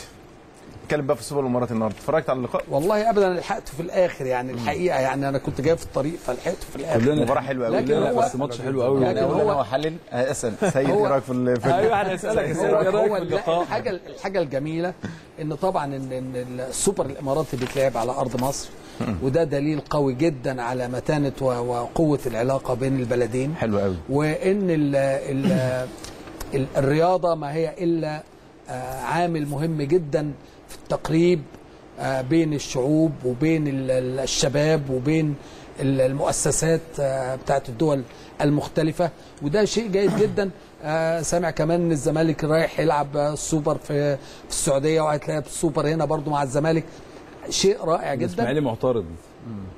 يعني ما أنا ما ده هم هم السعودية اللي قرروا مش مش الزمالك يعني إحنا إحنا ملناش دخل في العملية دي والزمالك جدير و طبعاً جدير طبعاً. ومشرف للكرة المصرية. أيضا في في أي مكان الشعوب يعني, يعني. آه أنا قصدي الشعوب. إن ضروري يبقى في تقارب. خصوصا ال- الشعوب لا واللقاءات اللي زي كده يا كابتن طبعا اللقاءات مهمة اللي زي جدا كده كانت مثيرة والحقيقة يعني جداً. أنا أنا رحت السوبر أنا رحت السوبر ال- ال- المصري مرتين يعني مع الزمالك ومع أيوة. مع المصري في. الإمارات انت ما تحسش لحظة ان انت مش في بلدك لا أو طبعاً. مكانك. لا، لا. ابدا.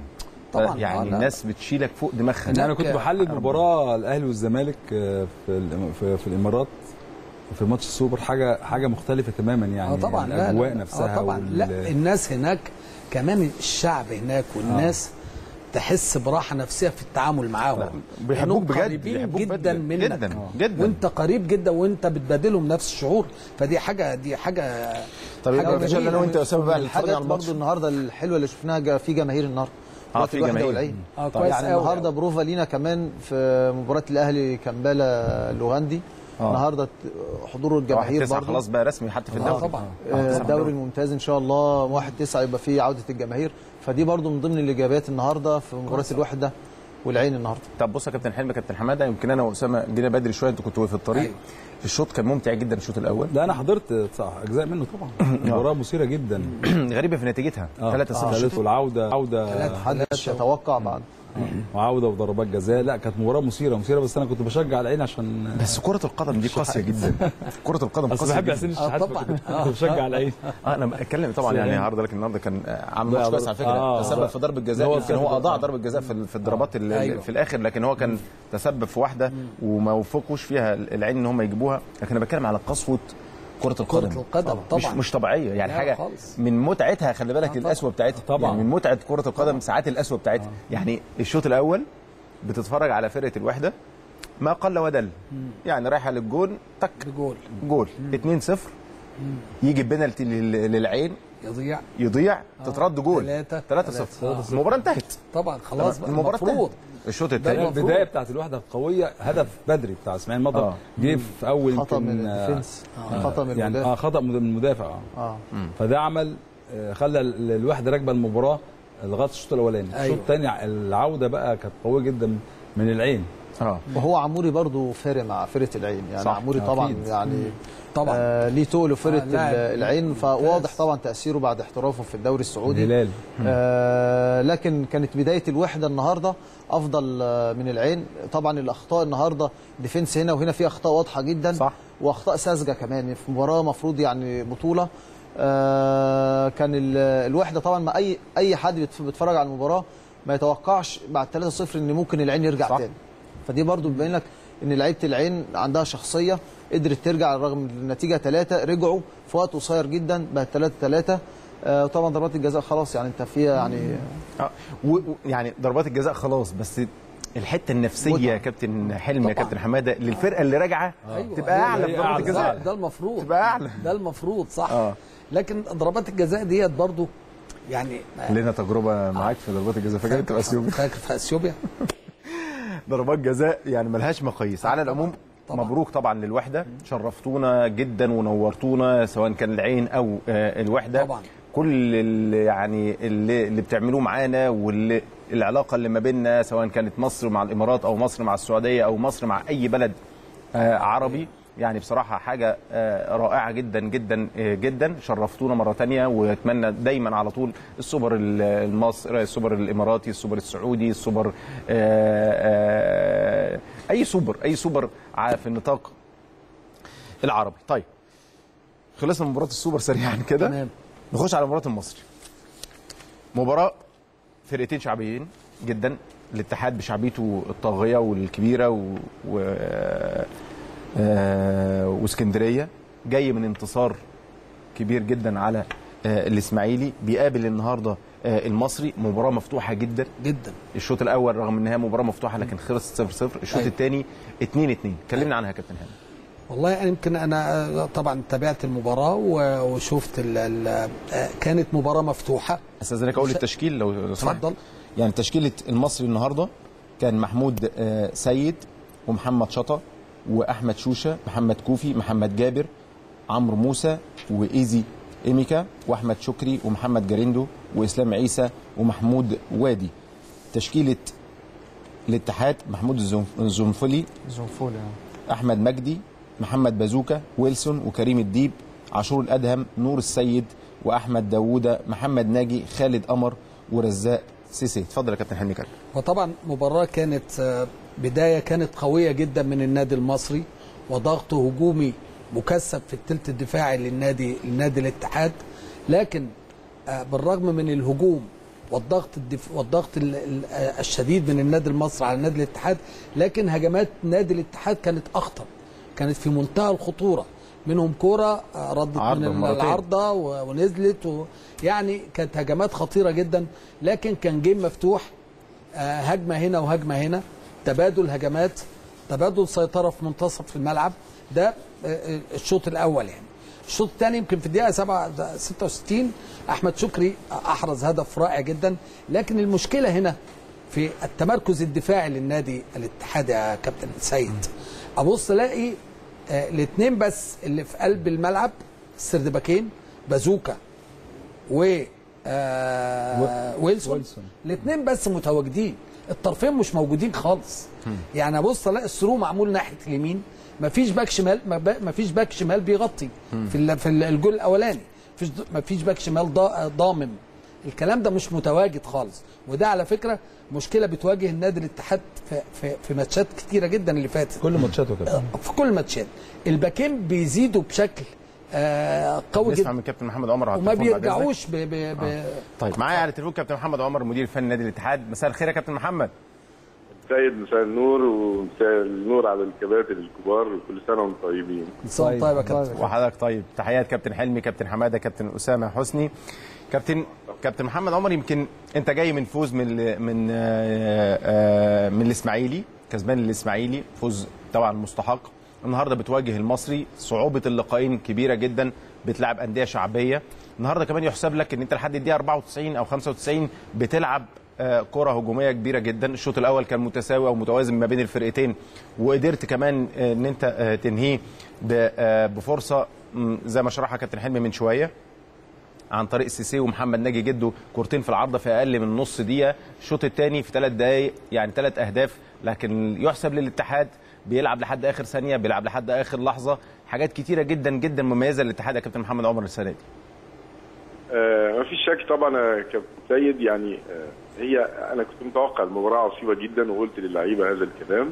كان في اندفاع بدني كبير جدا، كان في عصبية بشكل مبالغ آه على كل المستويات يعني سواء داخل الملعب أو خارج الملعب يعني.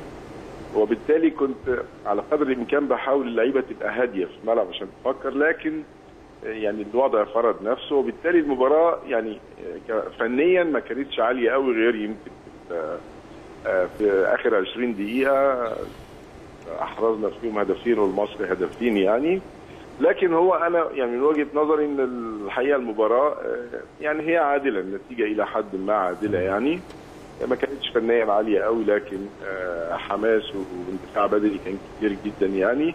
زي ما قلت حضرتك الحقيقة يحسب لعيبة نادي الاتحاد السكندري هم لحد آخر لحظة عندهم إحساس وتصميم على التعويض وربنا كافئهم آه، لكن عايز بس يعني انوه على النقطة الحقيقة إحنا يمكن اللعيبة يعني أنا أنا مشفق عليهم. أربع مباريات الحقيقة كانوا أقوياء جدا. آه، دخل فيهم مباراة الترجي الأولانية. زمالك آه، مقاولين إسماعيلي مصري.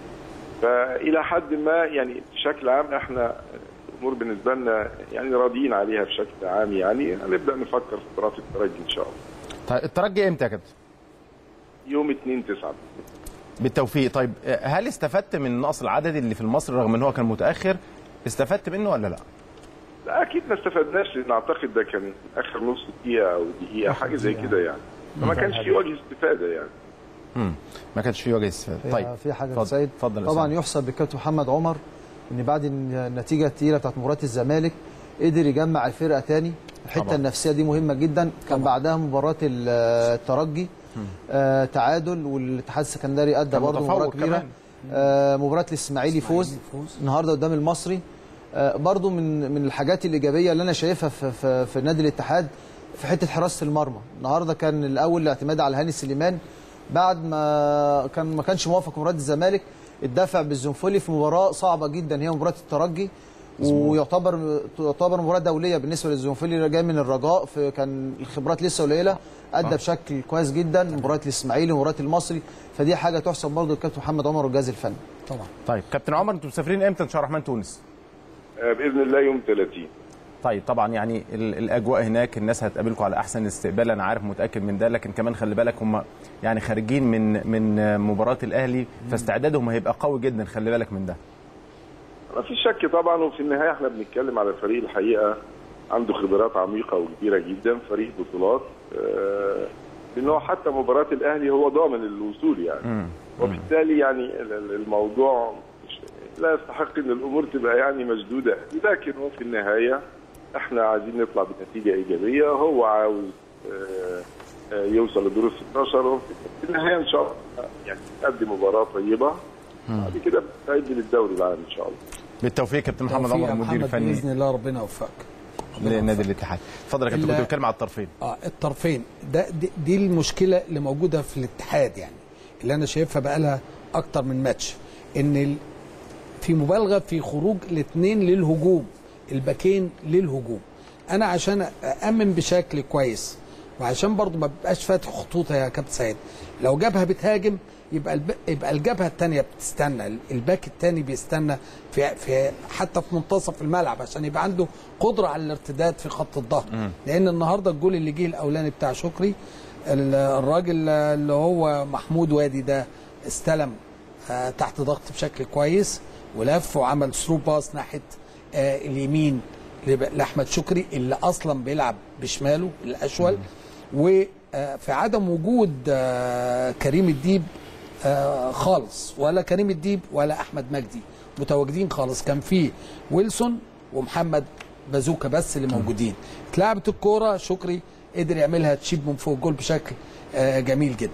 فأتمنى إن الكابتن محمد آه، عمر يخلي باله من النقطة دي. مهم جدا في الماتش اللي جاي خصوصا بتاع آه، الترجي آه، هو شيء جيد في الشوط الثاني إن آه، الشيء الجيد إن ال- ال- ال- العودة آه، ما خدتش ثواني.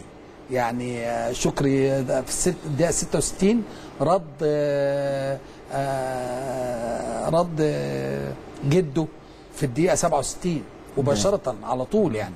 وعمرو موسى في الدقيقة 69 على طول. عمرو موسى في الدقيقة 69 وكون الاتحاد إنه يرجع. يقدر يرجع في الدقيقة آه، 93 ولا 94 ده ده شيء يحسب للفرقة ويحسب لمحمد آه، عمر إنه قادر ان هو معنويا ونفسيا قادر ان هو يدي جرعات بشكل جيد جدا لهذا الفريق إنه يقدر يرجع بهذه السرعة وبهذا الشكل. أنا أعتقد النهارده التعادل عادل جدا للفرقتين.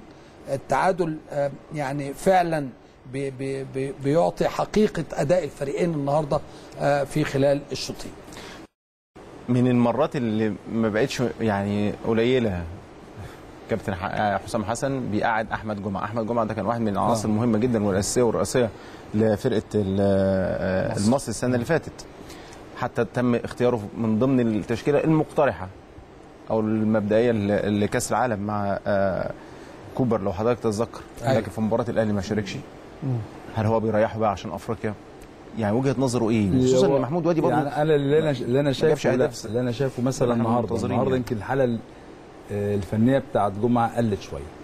هو النهارده عنده طرفين كويسين جدا إسلام عيسى وج- وجراندو بيشتغلوا بشكل كويس جدا. النهارده كان شغله كله على الكور العالية بتاعت محمود دوادي بيشتغل كويس جدا كمحطة. للي جايين من تحت شكري بيشتغل النجوم ال- المصري دلوقتي أحمد شكري آه. إسلام عيسى. صحيح. آه، إسلام عيسى. كمان آه لا لا. بص يعني آه، آه، شكري مع ليه شكل تاني بقاله فترة مع النادي المصري. بيأدي بشكل جيد جدا يعني حتة الجول الهدف اللي جابه اللي هو بيجري تحت راس الحربة في المساحة الخالية إن راس الحربة بيلف كويس. يمكن محمود وادي عنده حتة المحطة عنده العاب الهواء بي- بيلعبها بشكل جيد جدا كل كرة واخدها. يعني كان عامل إزعاج بشكل كبير. سرعات إسلام عيسى بقى من الأطراف وجريندو بيشتغلوا لجوه بيشتغلوا بشكل جيد جدا. آه، البدني بتاعهم يعني حسام دايما بيلعب ضغط من قدام. الثلاثه دول بيعملوا الضغط بشكل كويس جدا. تحتيهم أحمد أحمد شكري. آه، ففي شغل كويس بيتعمل في المقابل اللي أنا شايفه برضه إن النهارده آه، أخطاء موجودة بتاعت الكابتن حلمي بيتكلم عليها بتاعت الطرفين. ولكن في تحسن في الشكل الهجومي. في نادي الاتحاد في حاجة بتتعمل في ناجي بيشتغل آه، ناجي جده بيشتغل بشكل كويس جدا. على سيسي فكرة يا كابتن حمادة سيسي. الجول اللي جابه النهارده جده من الأجوال ال- الرائعه. جدا. تحرك. استلم من التحرك استلم رائع. باستلام رائع جدا والاستلام ده هو الجول وشاط بشماله جول ففي تطور جول في حلو يعني. الشكل الهجومي نادي الاتحاد بشكل جيد جدا. والاصرار بقى الجون الأخير التعادل ده الإصرار لآخر ثانية آه. شوف قد إيه زيادة عددية دخلت 18 أيوة. شوف القتال في الكورة والكورة جت يمكن تقريبا ل... لأحمد مجدي تقريبا هو اللي ما, ما طمعش فيها كان ممكن يشوطها في الجول لا أيوة، وراح السيسي. رجعها على- رجعها للسيسي بشكل رائع طبعا أيوة، أيوة. في في وقت صعب جدا أنت طبعاً. بتفكر في الم- في المكان ده في الوقت دوت ان انت تعمل الكره بالشكل دوت والسيسي بيحطها في توفيق عالي جدا فيها. لا يعني في البدني واضح الفرقتين كانوا بالظبط. واقفين بشكل كويس والنتيجة عادلة في, في الأداء الفرقتين أنا كنت طيب، بس ضد تغيير أحمد جمعة النهارده. هو نزل في الدقيقة 91 يعني ما كنتش مع, مع إنه ينزل النهارده في حتة نزوله. النهارده اللي فرق مع النادي المصري وهو متقدم 2-1 جت فرصة لإسلام عيسى. كانت ممكن تقضي على المباراة. لو النتيجة 3-1 خلاص المصري أنهى المباراة. دي ضاعت. كان إسلام عيسى عنده إنذار. النهارده ممكن وأنت كسبان كابتن حسام حسن التغييرة الثالثه أحمد جمعة منزله وأنا كسبان 2-1 مش هيضيف لي في الوقت ده وهي ثلاث دقايق. أنا كنت محتاج أأمن منطقة الوسط عندي. كنت ممكن أطلع إسلام عيسى اللي واخد عنده إنذار. آه. كان إنذار برضو نتيجة عصبية. وأنزل واحد وسط مدافع يقدر يأمنه إن وجود آه، أحمد جمعة في الوقت ده يعني متهيألي مش ما كانش هيضيف الثلاث دقائق أو الدقيقتين دول لل- للنادي المصري. فهي التفاصيل الصغيرة دي ممكن تكسبك مباراة وتضيع منك مباراة. طيب. فهي النقطة بتاعت بمناسبة. التفاصيل الصغيرة وأنا مؤمن باللي أنت بتقوله ده يا أسامة جدا جدا التفاصيل الصغيرة. الناس طبعا. تب- تبان إنها عادي. إيه المشكلة يعني لو ما رجعتش اللحظة دي؟ إيه المشكلة؟ وأنت ليك خبرة معايا.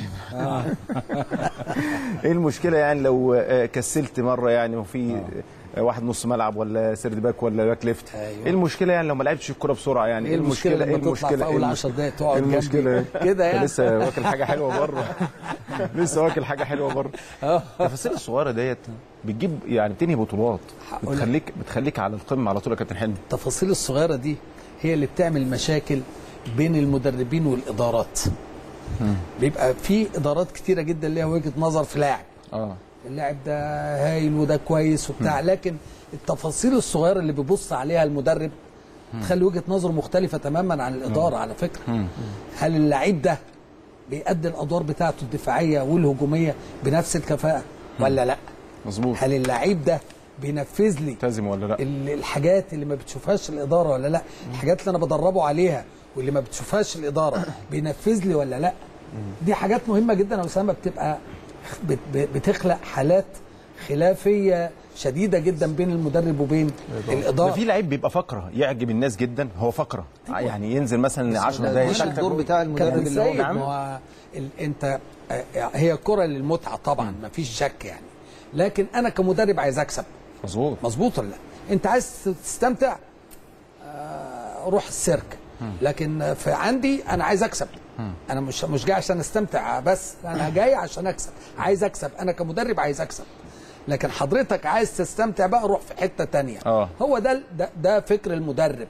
وضروري الإدارات تبقى متفقة مع هذا الفكر. والالتزام ده بيؤدي في الآخر للاستمتاع خلي طبعا. بالك. لا يعني بيوصلك. للاستمتاع في الآخر. طبعا. هي المتعة في الأداء. لما تشوف أداء جماعي, جماعي. جماعي. والأداء الجماعي هو اللي بيوصلني للهدف بتاعي هو اللي بيوصلني إن أنا أعمل سكور. هو دي هي دي المتعة. لما بأدي بشكل جيد ومن one touch و two touch وال back pass والحاجات دي ابقى أنا بستمتع. ده أنا ده, ده أقصى استمتاع وأفضل استمتاع إنك تشوف ال- ال tactics بيتنفذ بشكل كويس وبينتج عنه أهداف. فالحاجات التفاصيل الصغيرة يا كابتن سيد ودي نقطة مهمة جدا طبعاً. على فكرة. دي اللي بتهم المدرب. غيره غير ال- يعني غير الجمهور الجمهور عايز يستمتع الإدارة عايز تستمتع لكن أنا ببص على التفاصيل الصغيرة دي. ده في كل المنتخبات الكبيرة والأندية الكبيرة المباريات بتبقى بتاخد على أجزاء يا كابتن آه، حماد طبعاً. يعني آه. في أجزاء معينة كده في. المباراه نعم. سيناريو في الموضوع طبعا. آه. يعني أنت بت- ممكن تلاعب فرقة كبيرة جدا. استراتيجيات. عندها قدراتها وعندها إمكانياتها وعندها نجومها اللي عندك بالظبط. فأنت بتحاول كفكر مدرب يعني تستدرجها إلى وقت أطول شوية أنت عندك الحتة البدنية أعلى. عندك مثلا يعني القوة الجز... سيناريو فكر. بتاخدها مثلا لكرات ثابتة بت... بتشتغل في السرعات بتشتغل في المساحات. أنت عامل أشبه بالعملية المتعسرة.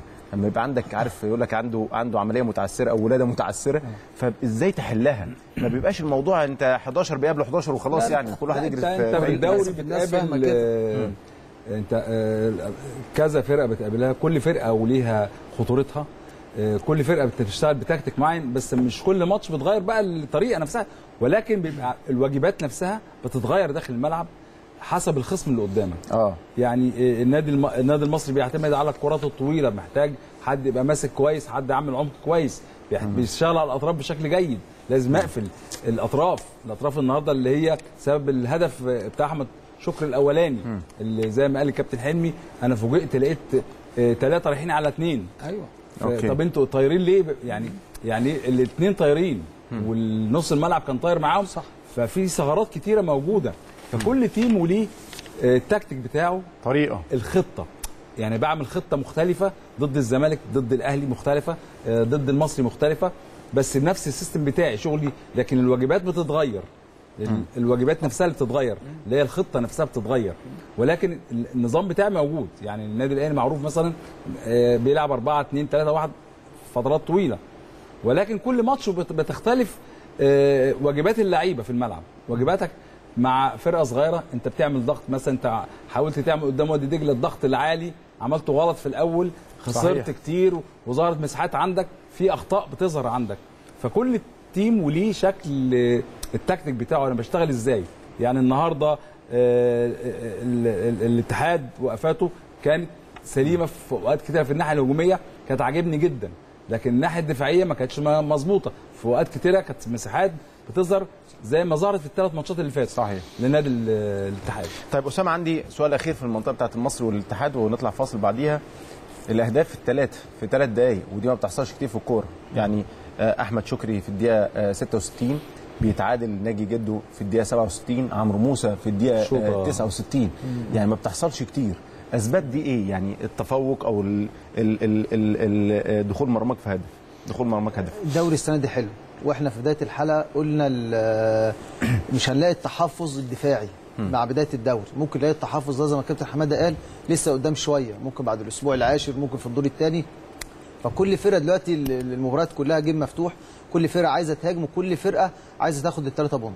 أهمها دلوقتي عشان تقدر تجمع الحصيلة عندك اللي تقدر تريحك بعد كده للدور الثاني فإحنا الدور الأولاني هتلاقي فيه أهداف كتير. هتلاقي مباريات مفتوحة. النهارده بنشوف وادي دجلة قصاد الأهلي. لا وادي دجلة مش مأمن. لا ده بيهاجم النادي الأهلي من بداية الشوط الأولاني وبيضغط من قدامه وبيضيع فرص. بنشوفنا حرس الحدود قصاد الأهلي. برضه نفس الكلام. بنشوف بتروجيت قدام الزمالك بيحرج الزمالك وبيوصل. يعني خلاص الدور الأولاني سمة الفرق سواء صغيرة أو كبيرة لا ال- الجيم كله مفتوح. لا والنقطة فالنا- دي بس النقطة دي الأهداف اللي بتيجي ورا بعض دي أخطر وقت لما بجيب هدف. آه. لازم تجيب أو يت... أو أو ي- تستقبل أو استقبل أو تستقبل. في خطأ لازم اللعيب يبقى مركز تمركز. جدا. مركز. جامد جدا في الوقت. التفاصيل اللي بنتكلم. عليها. دي آه، التفاصيل. بالظبط طبعا. الفريق ما كانش مركز. تعرف من أكتر الحاجات يا كابتن. من أكتر الحاجات اللي بتبقى مهمة جدا جدا في اللحظة دي واحد عنده خبرة أو شخصية في الملعب. بالظبط. طبعا. لعيب. لعيب يعني مهم جدا. لعيب. طبعا. لعيب أو اثنين خلي بالك يا سيد كنا من ضمن. التفاصيل دي. كنا بنلعب مرة مباراة في البطولة العربية قصاد النصر حسين ضيف في الجزائر. آه أنت جبت فيها جول في الآخر آه دي. لازم نكسب المباراة دي. آه، وكانت القايمة بتاعت البطولة العربية إحنا عدد محدود يعني. فإحنا قبل المباراة بيوم وإحنا بنعمل إطالات في الملعب مانويل جوزيه قال لنا بكرة إن شاء الله لو فضلنا متعادلين آخر 20 دقيقة كنت أنا وأحمد بلال نلعب اثنين مهاجمين. قال هيبقى هطلع وائل جمعة وأحمد السيد يلعبوا اثنين مهاجمين. آه. وهزود وهلعب باثنين بس ورا واحد في نص الملعب وهطلع الفرقة كلها. فهو بي- بي- بيجهزك اللي بيحصل بعد بيهيئك نفس السيناريو حصل تاني يوم. أحمد بلال بس اتعور جاله صليبي يومها في أول نص ساعة. فجه في آخر 20 دقيقة لقيت احمد وائل جمعة وأحمد السيد بيلعبوا اثنين. مهاجمين. وقدرنا نجيب جون وقتها في الدقيقة 94 انت اللي جبت الجول ده؟ آه. ودي من الاجوال المؤثرة جدا جدا والتاريخية كمان. آه، طبعا. بمناسبة بقى قبل ما نطلع فاصل على حتة أحمد السيد طبعا أنا مش مقتنع إن أحمد السيد يلعب راس حرب خالص أنا بنلعب الهلال السوداني. ولا سرد. خلي بالك خلي بالك. أحمد السيد ضيع كورة. الحركات الكبيره لا لا ده أكتر واحد أكتر يعني. واحد أثبت بجد يعني. إن أنت تكون واقعي جدا جدا جدا جدا في لعبك هتوصل. جدا. آه طبعا. هتوصل. مجتهد. وصل لا، مجتهد. خلي بالك جدا. جوزي جوزي كان بيسميه. ميسي ميسي آه. بيلعب بشماله له موقفين معانا احمد السادة كده. الموقف الأولاني كنا بنلعب الهلال السوداني. خسرنا هنا 1-0 في دور 32 ورايحين نلعب ال- الهلال هناك في السودان لازم نكسب. أيوه. okay؟ طبعا. فأنا نزلت أنا وخالد بيبو. وبعدين في آخر الماتش كده لقينا أحمد السيد بقى راس حربة ثالث معانا. ثالث معانا. فعصام الحضري هيشوط الكورة. فلقيته واقف ورا ورا ال third back هو بيه؟ هو نسي هو المفروض ال forward الموقف الثاني كنا في هولندا. يعني مش عارف هولندا ولا ألمانيا بنعمل فترة إعداد كده. وهو احتياطي. ففي لعيب أفريقي في الفرقة اللي بنلعبها مباراة ودية كده. فمحمد شوقي تقريبا ولا مش فاكر مين بالظبط راح طالع معاه كده مديله كوع دم من مناخيره مش طبيعي. شوية ومش عارف مين تاني دم في مناخيره مش طبيعي. فجوزيه اتنرفز جدا. بص كده بره ما لقيش غير أحمد السيد. يا أحمد. دبح نزل عمل سيد نزل عمل سيد. قال لك شهرين اتنين هم ظاهرين ظاهرين نطلع فاصل ومكملين معاكم ملعب الأهلي كابتن حلمي وكابتن صدقي وكابتن أسامة حسني. بعد الفاصل هنتكلم في اختيارات المنتخب ومين الفرود المؤهل في الوقت الحالي لأجيري اللي هو المدير الفني الجديد البرتغالي للنادي لمنتخب مصر إن هو يختاره. وكمان هنتكلم في حاجات صغيرة خاصة بالدوري المصري والأسابيع. أو الأسبوع تكملة الأسبوع الرابع بكرة ان شاء الله الرحمن والثلاث مباريات اللي هيقاموا بكرة بإذن الله. بعد الفاصل اللي جاي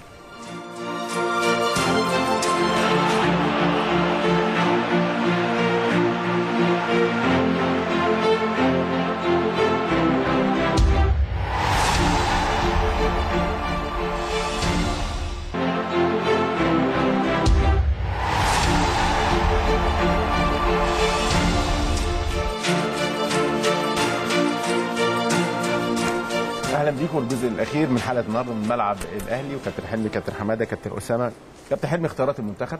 انت عارف المنتخب هيتجمع يوم 30 الم... وما زال البحث مستمرا على مهاجم يعني آه للمنتخب ال- الأول. الناس أنا بقول لك معلومة متأكد منها متأكد منها. صلاح محسن مع المنتخب كأساسي. لكن لما نبص على بقية ال- الفرق ولا حاجة زي ما أشار أسامة حتى في سياق الكلام في بداية الحلقة كلها آه، أجانب. أجانب. طيب هل الصح إن أنت تختار حد رغم عدم اقتناعك الكامل وتبدأ تشتغل معاه وتجاري بالظروف أصل في وقت لازم تختار الأنسب مش الأحسن. هو أنا أنا ما اغير استراتيجيتي واغير أسلوب لعبي. يا. طبعا. طالما إن أنا ما عنديش يبقى أنا ضروري أغير من, من طريقة لعبي وألعب ب shadow striker. طالما أنا ما عنديش حد يقدر يقوم لي بيه ال top striker top striker ده أغير طريقة لعبي. بس كوبر جربها شوية ما كانش ما كانتش مجدية قوي يعني مش عارف يعني بس طيب آه، إيه الحل التاني؟ يعني أنا عايز أعرف الحل طالما إن أنا ما عنديش top striker اللي أنا أقدر آه، أختاره. كمهاجم للمنتخب. يبقى أنا على طول طالما ما عنديش العنصر ده أغير من طريقة لعبي على طول. طيب ده- نشارك ده- في الحوار ده ده وجهة كابتن؟ نظري آه يعني. كابتن حلمي كابتن أسامة كابتن حمادة. خلينا نقول برضو بشكل عملي ورقمي. يعني مثلا المهاجمين الأجانب اللي موجودين في الدوري المصري الأهلي وليد أزارو الزمالك كاسونجو آه كريستوفر اللي هو الإسماعيلي انبي نوح وائل. وادي وادي آه محمود وادي. المصري. محمود وادي بناهيني ورزاق سيسي شيلونجو اللي هو كان موجود في الأسيوطي أساسا آه بنجامين اللي هو طلع الجيش آه لوكاس بس اللي هو بيراميدز بصراحة السعودية خلاص. مصر المقاصة جون أنطوي إبراهيما نداي في وادي دجلة والإنتاج الحربي تيدي جيمس تيدي. لما تيجي تبص الكلام الواقعي في الوقت وعلى الورق وعلى الملعب والحقيقة وكل حاجة هتلاقي الهدافين بعد الأسبوع الرابع يعني معظمهم مش رصاد حربة يعني باستثناء صلاح محسن أحمد علي طاهر محمد طاهر ده هيبقى لعيب كويس قوي قوي. قوي بس محتاج مميز. محتاج قرصه ومحتاج تعليم ومحتاج آه آه توجيه الباقي يا نص ملعب يا أجانب ده عادي جدا يعني زي ما قال الكابتن حلمي اللي أنا آه، مش هغير سياستي يعني اعتمادي كله في منتخب مصر حتى الفترات السابقة كان على الناس اللي من تحت اللي تحت راس الحربة يعني مستر كوبر كان عنده فلسفة معينة كان بيحب راس الحربة مش الهداف راس الحربة المحطة اللي بيشتغل اللي بيطلع عليه بيسند عليه لصلاح لتريزيجيه لعبد الله السعيد للناس اللي هي اللي الهدافة اللي من تحت يعني راس الحربة بتاع منتخب مصر مش الهداف. آه. الهداف محمد صلاح اللي بيلعب نص ملعب مهاجم تريزيجيه الهداف آه، آه، رمضان عبد الله الناس اللي هي الشغل اللي هي عندي إمكانيات عالية فيها. يعني المكان ده ده مكان مميز جدا عندنا في في منتخب مصر. آه، فمش لازم يعني بس كلام الراجل أنا سم- سمعت آه، المدرب وهو بيتكلم على اختيارات المنتخب قال لك غير اختيارات النادي. آه، أنا هختار اللعيبة اللي هتنفذ الفكر بتاعي. يعني آه محتاج راس راس حربة راسين حربة هدور في عندي آه، كم كبير من اللعيبة. لكن في نادي ببقى محصور بلعيبة معينة. فالكلام ده يعني مش قوي. لكن. برضه هتبقى أنت هتتكلم على الناس اللي بتشتغل من تحت. ما عنديش راس الحربة الصريح اللي هو يبقى زي ما أنا بقول يعني زي ما حضرتك قلت طبعا. آه، shadow striker يعني. shadow str يعني بتلف. ممكن زي ما كان بيلعب مستر كوبر بكهربا مرة بصلاح مرة. لو دخل صلاح محسن يبقى راس حربة. آه، بس بيلف برضه. زي زي ما شفنا النهارده كده آه ليفربول وهو بيلعب. ما فيش حد من الثلاثه بيتمركز في حتة واحدة. بقى- الحر دي بقى. يا كابتن حلمي أيوة. تغيير طريقة اللعب. بقول بدل. مستر كوبر كان بيلعب 4 2 3 1 ممكن النهارده تغير طريقة اللعب. 4 3 3 أيوه. okay. وبتريح كمان محمد صلاح بدل ما كان بيعمل الواجب الدفاعي وينزل تحت على 18 وكان رمضان صبحي وتريزيجيه. انت اديتهم حرية هجومية وعندك ثلاثة في نص الملعب. عندك- عندك هم اللي يقدروا يغطوا. ده الصح. عناصر غير المنتخب. اللعب. ضروري زي آه. ما أنا قلت لا غنى ضروري عنه. نغير طريقه اللعب عشان يعني في عناصر نتواكب مع. العناصر اللي موجودة آه، اللي عندها الخبرات اللي خدت الخبرات الفترة اللي فاتت دي ما تقدرش ترمي ده كله وتبتدي من جديد ده انت تخش على ماتش رسمي. مش عندكش ماتش ودي ما عندكش وقت للتجارب. التجارب أو الدخول هيجي على فترات آه، متباعدة. okay. ال- الهدف هيبقى يعني تغيير جلد المنتخب مش هيبقى مرة واحدة. مش هتقدر تعمله دلوقتي. يعني تدخل عنصر اثنين بالكتير ثلاثة لكن ما تقدرش تغير team كامل. وانت عندك ناس أساسية طبعا عندك. team كامل لا عندك match. match رسمي في لا، ما حدش قال كده في, كابتن. في بعد كام يوم. أكيد هتعتمد على المجموعة اللي كانت موجودة معاك قبل كده. بدليل اختيارات ال- المنتخب اللي هو المحترفين يمكن دخل غزال يمكن هو الجديد بس ال- في ال- جديد قديم يعني. الجديد قديم كان في فترة قبل كده مع برادلي تقريبا. وعمرو طارق. آه وبالظبط. أو عمرو طارق كان موجود قبل كده برضه. آه أوكي. ف هيعتمد برضه على المجموعة الموجوده وده مش عيب ده آه، ناس في تجانس في حاجة. ده بس- الطبيعي بس لازم في- يدخل يعني في- في السوليه لازم يدخل برضه. ع- قوام آه، آه. أساسي قوام أساسي آه، بيبقى موجود يعني في حدود وقال لك مش هبص على السن مش هبص على الطول وواحد قصير وواحد طويل. هبص على الأداء اللي هيأدي بشكل جيد مش هبص على آه، الأعمار السنية كمان. يعني لو حد آه، العمر زي ما يقول لك مش هيلحق لي كاس العالم. لا ممكن ندخله في مرحلة. المرحله دي آه. مرحلة أنا محتاج مثلا آه، أعدي الفترة دي. أعدي أروح آه، كأس الأمم. أيوة. أعدي أروح كأس العالم. اللي هينجحني فيها ابقى موجود في منتخب مصر. آه طب ده كلام منطقي ده كلام يعني. ده كلام منطقي يا أسامة. يعني شايف إن هو كلام عقلاني في الوقت الحالي. وخصوصا إن أنا يعني بادئ برضو المرحلة ديت أكسب اللي, اللي أقدر أكسبه. وبعد كده بقى أغير زي ما أنا عايز أكون خدت الثقة يعني. ما هو أكيد مش هيبص لسنتين ثلاثة قدام. هو بيبص للمرحلة أو المباراة بتاعه النيجر اللي جاية دي. آه. ما هو مطالب فيها بالفوز. يعني مع احترامي النيجر فرقة برضو بالنسبة للترتيب في الكورة فرقة قليلة. المباراة عندنا في مصر مطالب بيها بالفوز. البداية لازم تبقى قوية. فأكيد مش هيغير شكل ال team تمام. لازم برضو يستعين بالعناصر اللي, اللي كانت موجودة في كأس العالم. بس في عناصر جديدة ظهرت تستحق إنها تبقى موجودة في منتخب مصر زي صلاح محسن زي. زي ما قلنا. هو هياخده هياخده. قلنا السولية برضو ماشي بدور كويس وعامل دور هايل جدا مع النادي الأهلي. سواء لما كان بيبدأ أو بينزل بيبقى ليه دور مؤثر. طاهر محمد طاهر من العناصر صحيح. الشابة ال- الواعده في. الكرة المصرية. أوباما. أوباما مأدي أوباما قايم بدور عامل كويس عامل جدا. جدا. هايل آه، طبعا. طبعا. فلازم يخلق برضو الفرص للعيبة بتاع الدوري الممتاز. وبرضو ما عشان ما يقولش ان إن في ناس حاجزة أماكنها. لا ال- الباب المنتخب مفتوح للجميع. حتة طريقة اللعب النهارده يعني آه، يورجن كلوب في ليفربول مغير طريقة اللعب عشان يوصل أو يقرب محمد صلاح للجول أكتر. وشفنا الموسم اللي فات والنهاردة محمد صلاح ما شاء الله بيحرز هدف إنه قرب. بدل ما أخد مجهود محمد صلاح في الناحية الدفاعية زي ما كان كوبر كان بيعمل برضه. وشفناها خاصة في كأس الأمم الأفريقية كان محمد صلاح بيرجع على ال 18 بيعمل واجب. الدفاعي ولو ما رجعش بيحصل بيحصل خلل عندنا في المنطقة دي. آه. لما يبدأ ياخد الخطوة لقدام كنت بتستنفذ ده بي- مجهوده البدني ده النهارده لما- بيطرف ف- بيطرف فيرمينيو عشان ينزل يساعد ومحمد صلاح يبقى الجول. أنا بقربه إن هو العنصر. المهم تلاقي راس. حربة. آه طبعا. طيب كابتن حلمي سؤال مباشر. غير إن أنت تغير طريقة اللعب. أيوه. مين العناصر اللي ممكن تبقى بديلة في الحتة دي في الدوري المصري. إحنا لعبنا أربع أسابيع دلوقتي وقبليها كمان السنة اللي فاتت. كواحد مسؤول كابتن حلمي طولاني آه، كابتن حلمي طولان لو هو القيادة الفنية عنده والقرار قراره مين العنصر اللي يبقى موجود في الوقت الحالي مع المنتخب؟ لا أنا أنا هتكلم طبقا لرؤية الراجل. وبقول لك إن أنا ما عنديش حتة السن دي مش آه، مش هبص لها يعني. أنا عايز أخد رأي حضرتك أنت. لا أنا رأيي أنا رأيي لو كده هلعب زي ما أنا بقول لحضرتك. هلعب ب shadow striker مش هلعب براس حرب أساسي هلعب ب shadow striker واعتمد على الانطلاقات من الخلف بشكل بشكل كويس. لحد ما يظهر لي حد. لحد لغاية ما أشوف حد. صلاح محسن ممكن تشتغل معاه ما هو صلاح محسن برضه من تحت.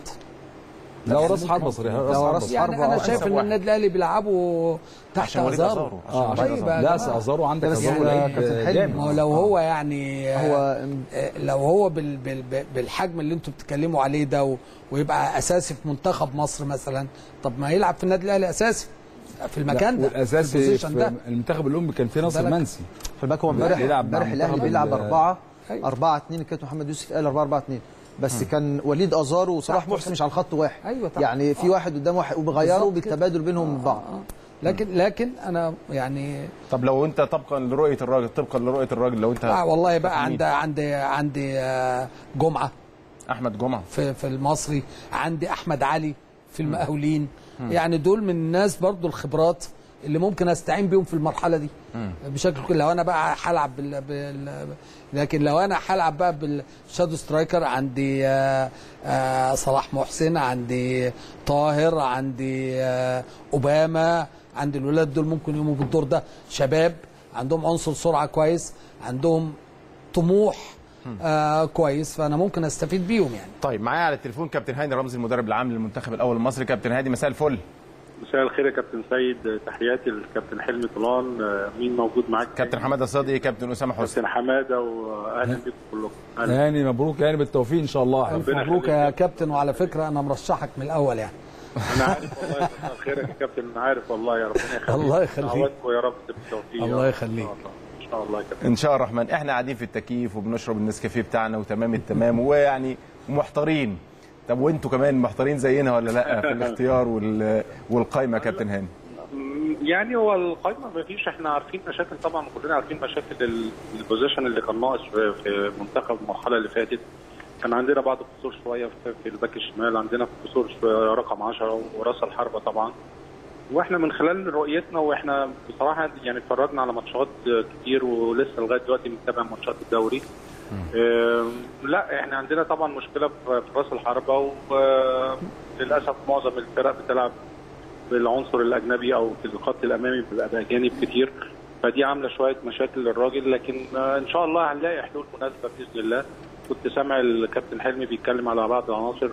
إحنا فعلا عينينا على ناس آه، عايزين دم جديد في المنتخب يعني. اولا قاعدة الاختيارات لازم توسع شوية يا كابتن. يعني واللعيبة اللي بتلعب في الدوري يمكن أنا شرحت كل السلبيات والإيجابيات الفترة اللي فاتت للراجل كان في إيجابيات كتير طبعا وصلنا لنهائي أمم أفريقيا ووصلنا لكأس العالم. دي دي طبعا حاجات ما نقدرش نغفلها لكن كان دايرة الاختيارات كانت ضيقة شوية.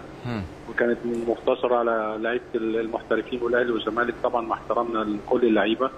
لكن كان في لعيبة ظهر بمستوى جيد جدا في بعض الأندية كان على سبيل المثال كان في لعيبة كويسة قوي في النادي المصري كان محمد حمدي النادي المصري أحمد جمعة كان ظاهر بمستوى كويس عمرو مرعي في وقت من الأوقات كان لازم يكون موجود آه، مش عايز أقول أسماء آه، بعينها لكن كانت الدايرة مغلقة شوية إحنا بإذن الله بنحاول طبعا نوسع الدايرة ديت بشكل كبير لكن كمان عندنا عنصر الوقت ضيق شوية بالنسبة للمعسكر اللي جاي إن إحنا طبعا مش هنقدر نضم يعني آه، كل العناصر جديده لا لا، هنعتمد بشكل أو بآخر على الهيكل الأساسي لكن أكيد هيكون على الأقل خمس ست عناصر جديدة بإذن الله.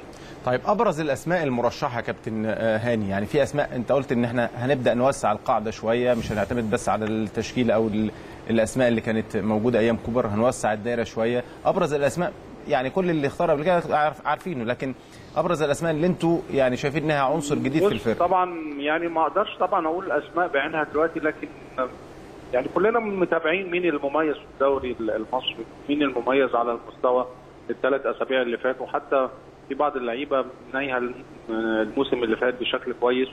آه، يعني أنا وصلت الصورة والراجل كمان بيحب يشوف بعينه. أنت عارف الاجانب كمان بيحب يشوف اللعيب. صحيح. آه، تابع آه تابعنا معظم المباريات وان شاء الله إحنا يعني هنتفرج بكرة على على الثلاث ماتشات آه، إن شاء الله يوم الاثنين في ماتش الزمالك. آه واتفرجنا النهارده على حسين الشحات. من آه. العناصر آه من العناصر اللي تم اختيارها مع ضمن المحترفين. محترفين خلاص حسين- آه آه آه طبعا من ضمن المحترفين. فهو عنصر جيد جدا وبيلعب في كذا position ومن اللعيبة المميزة جدا جدا يعني. وارد آه. آه وارد تغيير طريقة اللعب. كان كابتن حلمي بيقترح إن ممكن يبقى وارد. في وارد؟ آه آه وارد. يعني أعتقد إن ممكن هنلاقي تغيير في طريقة اللعب شوية. آه، ممكن ما يعني نعتمدش على ال- النمره 10 الكلاسيك اللي هو تحت رأس الحربة. ممكن يبقى طريقة اللعب نبدأ ب 4 3 3 دي بتدي شوية آه، بتدي شوية شكل هجومي أكتر مع الاحتفاظ طبعا بالعنصر طبعا بال بالصلابه الدفاعيه ما فيش شك لكن بتدي عنصر هجومي شوية. بن آه، بنشتغل آه، في لعيبة ممكن تشتغل box to box وممكن يكون في defender واحد بس في الحالة الدفاعية يكون في defender واحد واللعيبة اللي جنبه الاثنين اللي جنبه يبقى box to box يبقى موجودين في الحالة الهجومية والدفاعية. وعندنا العناصر اللي تقدر تعمل كده مع الاعتماد كمان على الجناب يعني طريقة 4 3 3 تعتمد كمان على آه، الجنب ال back اليمين وال back الشمال بيزيدوا بشكل مميز على أساس إحنا للأسف برضو آه، عايزين نكثف الكرات العرضية شوية يعني حتى كنت بنتكلم على رؤوس الحربة في بعض يعني آه، مروان محسن يمكن ما ظهرش بشكل كويس عشان كان كل شغله بره ال box ممكن حتى كوكا ما كانش ظاهر بشكل كويس لأن هو box player. آه، okay. آه يعني هو يعني عايزين نستفيد من قدرات اللعيبة وتشتغل على طريقة لعب تناسب امكانيات الولاد الموجودة عندنا. عندنا عناصر كويسة جدا. آه فوارد جدا وارد إن إحنا ممكن نغير طريقة اللعب بما يناسب العناصر الموجوده طيب عندي معلومة شبه مؤكدة. صلاح محسن وناصر ماهر موجودين مع المنتخب. يعني طبعا حضرتك مش هتعلن الأسماء في الوقت الحالي لكن من ضمن الاختيارات المطروحة والاسماء المطروحة ولا لأ؟ من الأسماء المطروحة طبعا. ومن الأسماء المطروحة زي ما الكابتن حلمي قال أوباما مثلا. من الأسماء المطروحة كنا كنا مرشحين مثلا أحمد جمعة لكن للأسف الراجل ما شافوش بقاله فترة ما بيشاركش مع يعني كابتن حسام بيعتمد على دلوقتي راس حربة أجنبي فلسطيني فأحمد جمعة ما خدش آه ما خدش فرص إن إحنا نشوفه لكن عنصر أنا متابعه من السنة اللي فاتت عنصر كويس. عندنا زي ما الكابتن برضو حلمي بتقول آه، أحمد علي في المقاولين. من الناس اللي كانت موجودة السنة اللي فاتت بشكل كويس وشغال بشكل كويس. بص إحنا حاطين لسه تقريبا يعني تقريبا طب إيه- أكتر من معلش هقطعك في الجزئية ديت. هل تفكيركم يا كابتن هاني يعني مرحلي ببصوا للمرحلة ديت ولا ممكن أقول لأ أنا هعتمد على صغيرين السن ال- الحتة حتة السن هتفرق معايا؟ يعني أنت بتفكر مرحلة في الوقت الحالي ولا كمان إحنا بن بنفكر يعني إحنا واخدين تقريبا جزئين. المرحلة الأولى اللي هي ال short term اللي إحنا شغالين قريبين فيها تصفيات أنت بتتكلم على تصفيات أفريقيا عندنا سبتمبر وأكتوبر ونوفمبر. في تقريبا كل في ماتش في سبتمبر وماتشين في أكتوبر وفي ماتش في نوفمبر. المرحلة وخاصة ماتش النيجر أعتقد هتبقى دخول عناصر صغيرة في السن هتبقى أقل شوية لكن ده ال plan B يعني ال plan اللي بعد كده بعد تصفيات أفريقيا. لا طبعا لازم آه، معدل الأعمار لازم ينزل بشكل بشكل كبير جدا. كلام جميل. ومش مع ومش معنى كده إن إحنا مش هناخدهم غير في وقتها لكن ممكن جدا تلاقي من دلوقتي آه. دلوقتي ياخ- ياخ- ياخد الخبرة ويعرف طريقة. كلام وده مهم جدا ده مهم جدا. طيب طيب يعني مين بديل محمد صلاح؟ محمد صلاح طبعا يعني واحد من العناصر الأساسية والرئيسية والمميزة واللي موصلنا للأسباب الكبيرة اللي وصلتنا كأس العالم والعنصر اللي موجود فعال في ليفربول مش في منتخب مصر كمان بس لكن وارد جدا تصادف بظروف زي اللي حصلت مثلا قبل كأس. العالم. مين اللي بيتحضره مين اللي بيحضره الجهاز الفني بقول للمنتخب؟ لك يا كابتن إحنا في كل position آه، منتخب مصر على الأقل لازم يكون عنده ثلاث عناصر في كل position يعني لو بتتكلم على آه، 33 لعيب وعندك ثلاث اجوان أو أربع اجوان أنت بتتكلم عنصر يعني الدايرة بتتكلم في 40 لعيب لكن في في ال- في المعسكرات على الأقل يكون في طيب بوزيشن محمد صلاح يا كابتن position محمد صلاح لو أنت قلت لي كل position فيه عنصر أو اثنين ولا ثلاثة position محمد لا. صلاح في وليد. سليمان ضمن الاختيارات ولا لا في في برضه بصينا عليه وليد سليمان برضه من الناس المرشحه هتكون موجودة لأن لعيب مميز عنده خبرات آه، آه، كل كل الأسماء اللي قلتوها كلها مطروحة وفي الآخر إن شاء الله يوم الثلاث هنقعد ونحط إن شاء الله. طيب عندي عندي معلومة آه أو لأ من غير أسماء. في و... أيوة. في لاعب كان مهم جدا جدا وشارك في كأس العالم لكن الراجل مش مبسوط منه خالص ومستغرب إن هو كان موجود مع مع الفرقة في كأس العالم. مميز جدا بيلعب في نادي شهير لكن مش هيبقى من ضمن الاختيارات. وارد ولا لأ؟ هي معلومة عندي. حضرتك عايز تجاوب عليها؟ جاوب عليها براحتك. مش هيجاوب عليها طبعا. لا يعني ما مش هقدر أقول لك آه ولا لا لأن أنا ما ما أعرفش المعلومة وما ما أعرفش بتتكلم على مين يعني سيد بيقول فوازير يا كابتن هاني آه ما أنا عارف عايز اعرف. ليه دي الدنيا دي الدنيا منورة إيه الدنيا منورة ماشي أعرف. بص عايز- أقول لك حاجة والله اتفضل. بكل أمانة بكل أمانة الفترة اللي جاية إن شاء الله هيكون صفحه جديدة مع الناس كلها. إحنا وراكم يا كابتن هاني. بس إحنا دورنا هنعمله. دورنا هنعمله. طبعا. آه دورنا. هنعمله. بس ثق تماما إن بعد ما يجي الماتشات هتلاقي كل الإعلام ده حاجة تانية خالص. قلبي عندك؟ ربنا يوفقهم. قلب عندك؟ طبعا. يعني وارد يعني. آه طبعا. ربنا يوفقكم بإذن الله يا كابتن قايمة الجميع هي هيتفق ده. وضع طبيعي. وضع طبيعي. بالتوفيق يا كابتن. آه. لا معاك طبعا وإن شاء الله الرحمن بإذن الله يعني. تحققوا كل حلم المصريين سواء كان في الوصول آه، لكأس الأمم الأفريقية والحصول عليها بإذن الله وكمان كأس عالم ومردود طيب يبقى في كأس عالم بإذن الله. شكرا كابتن هاني آه، رمزي إضافة سريعة في الموضوع دوت لأن خلاص وقتنا جري مع حضراتكم. يعني؟ المشوار صعب جدا لمنتخب مصر. صعب جدا. في في ظل المنافسين بتوعك اللي انت انت باصص لك- لكأس الأمم. مش توصل بس بص إن انت تاخد كأس الأمم. بص توصل كأس العالم وتأدي أداء أحسن من من اللي قبل كده.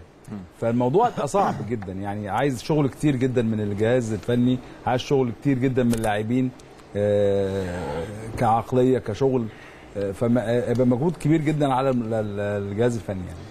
كابتن اسامه انت طلعت الألماني فرق معاك جدا 4 3 3 ده انت آه ألمانيا- قلت لك فرقت اللعب. معاك قوي لا هي هي. نفس طريقة اللعب أنت كمدرب لو أنت عارف الإمكانيات اللي عندك تقدر توظف اللعيبة كويس صحيح. وتاخد أفضل حاجة منهم زيدان كريستيانو ما كان بيلعب على الطرف بدأ يوظفه يخليه يقربه من من منطقة ال- ال- التهديف بقى هداف الدوري الأسباني وبقى بي- بي- بيجيب بطولات لريال مدريد نفس الكلام يورجن كلوب مع محمد صلاح وظفه توظيف صح خد منه أفضل حاجة. فهو يعني يعني من ضمن كلام الكابتن هاني تغيير طريقة اللعب 4 3 3 ومن ضمن الحاجات اللي قالها قال لك هنبدأ نطور الناحية الهجومية. دي كانت العقبة عند كوبر وكان الحاجز النفسي بينه وبين المصريين هي آه، تطوير الحتة الهجومية. كان دايما كوبر بيركز على الحتة الدفاعية و- وكان يعني كانت بزيادة شوية.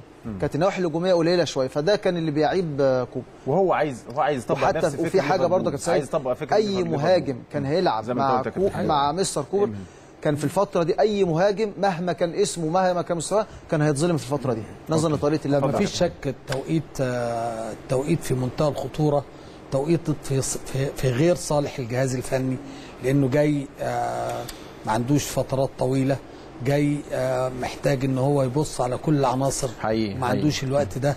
آه، فترة قصيرة جدا لمباراة آه، قريبة في شهر تسعة. أتمنى إن طبعا أنا فهمت من كلام الكابتن هاني إن العناصر القديمة برضه هيحافظوا عليها وهيبقوا غالبية المنتخب من العناصر القديمة. وده مرحليا شيء جيد جدا. بس أنا بقول لك على معلومة فعلا فعلا هو يعني في واحد في المنتخب لعب معاهم كأس عالم هو مش لعب لعب. لعب كأس عالم لعب. لعب كأس عالم. هو مش مقت... مش مش مقتنع مستغرب كمان إن هو كان معاهم في كأس عالم خلي بالك في فترات انطباع طب اولاني تقول لنا عليها يا كابتن هقول سيد لك بره الهوا بقى. هقول لك فأنا ب- بتمنى طبعا هو آه، موقف صعب. أتمنى إن هم يعدوا المرحلة دي. وزي ما الكابتن هاني قال ده كلام محترم جدا إن بياخدوها مراحل مراحل إن ال- آه، كلام خطط منطقي كلام آه، منطقي. قصيرة آه. وبعيدة. فطبعا ده ده مهم جدا وكلام منطقي. أتمنى إن ربنا يوفقهم بإذن الله في المباراة الأولى عشان تبقى بداية جيدة. وبدايه بالنسبة ليهم عند الجمهور تبقى آه، شيء مرضي. ويبقى ليهم دفعة معنوية كبيرة إنهم يحققوا قدام بإذن الله اللي. إحنا عايزينه بإذن الله. إن شاء الله الرحمن سبعة أهلاوية في قائمة المنتخب. سبعة أهلاوية هو ده اللي يهمك؟ وليد هو ده اللي. يهمك؟ وليد سليمان لا كده ماشي، إن شاء الله بس قبل مباراه كامبالا ما حدش بس يتصاب ولا حاجة ويخرجوا سلام. ويفوز إن شاء الله ويبقى وليد سليمان صلاح محسن ناصر ماهر محمد الشناوي أحمد فتحي أيمن أشرف وسعد سمير. سبع أهلاوية موجودين في قائمة المنتخب اللي, اللي, اللي هيتم اختيارها كم من الزمالك يا. كابتن سيد نعم يا كابتن كم من الزمالك؟ مساء الفل. كم؟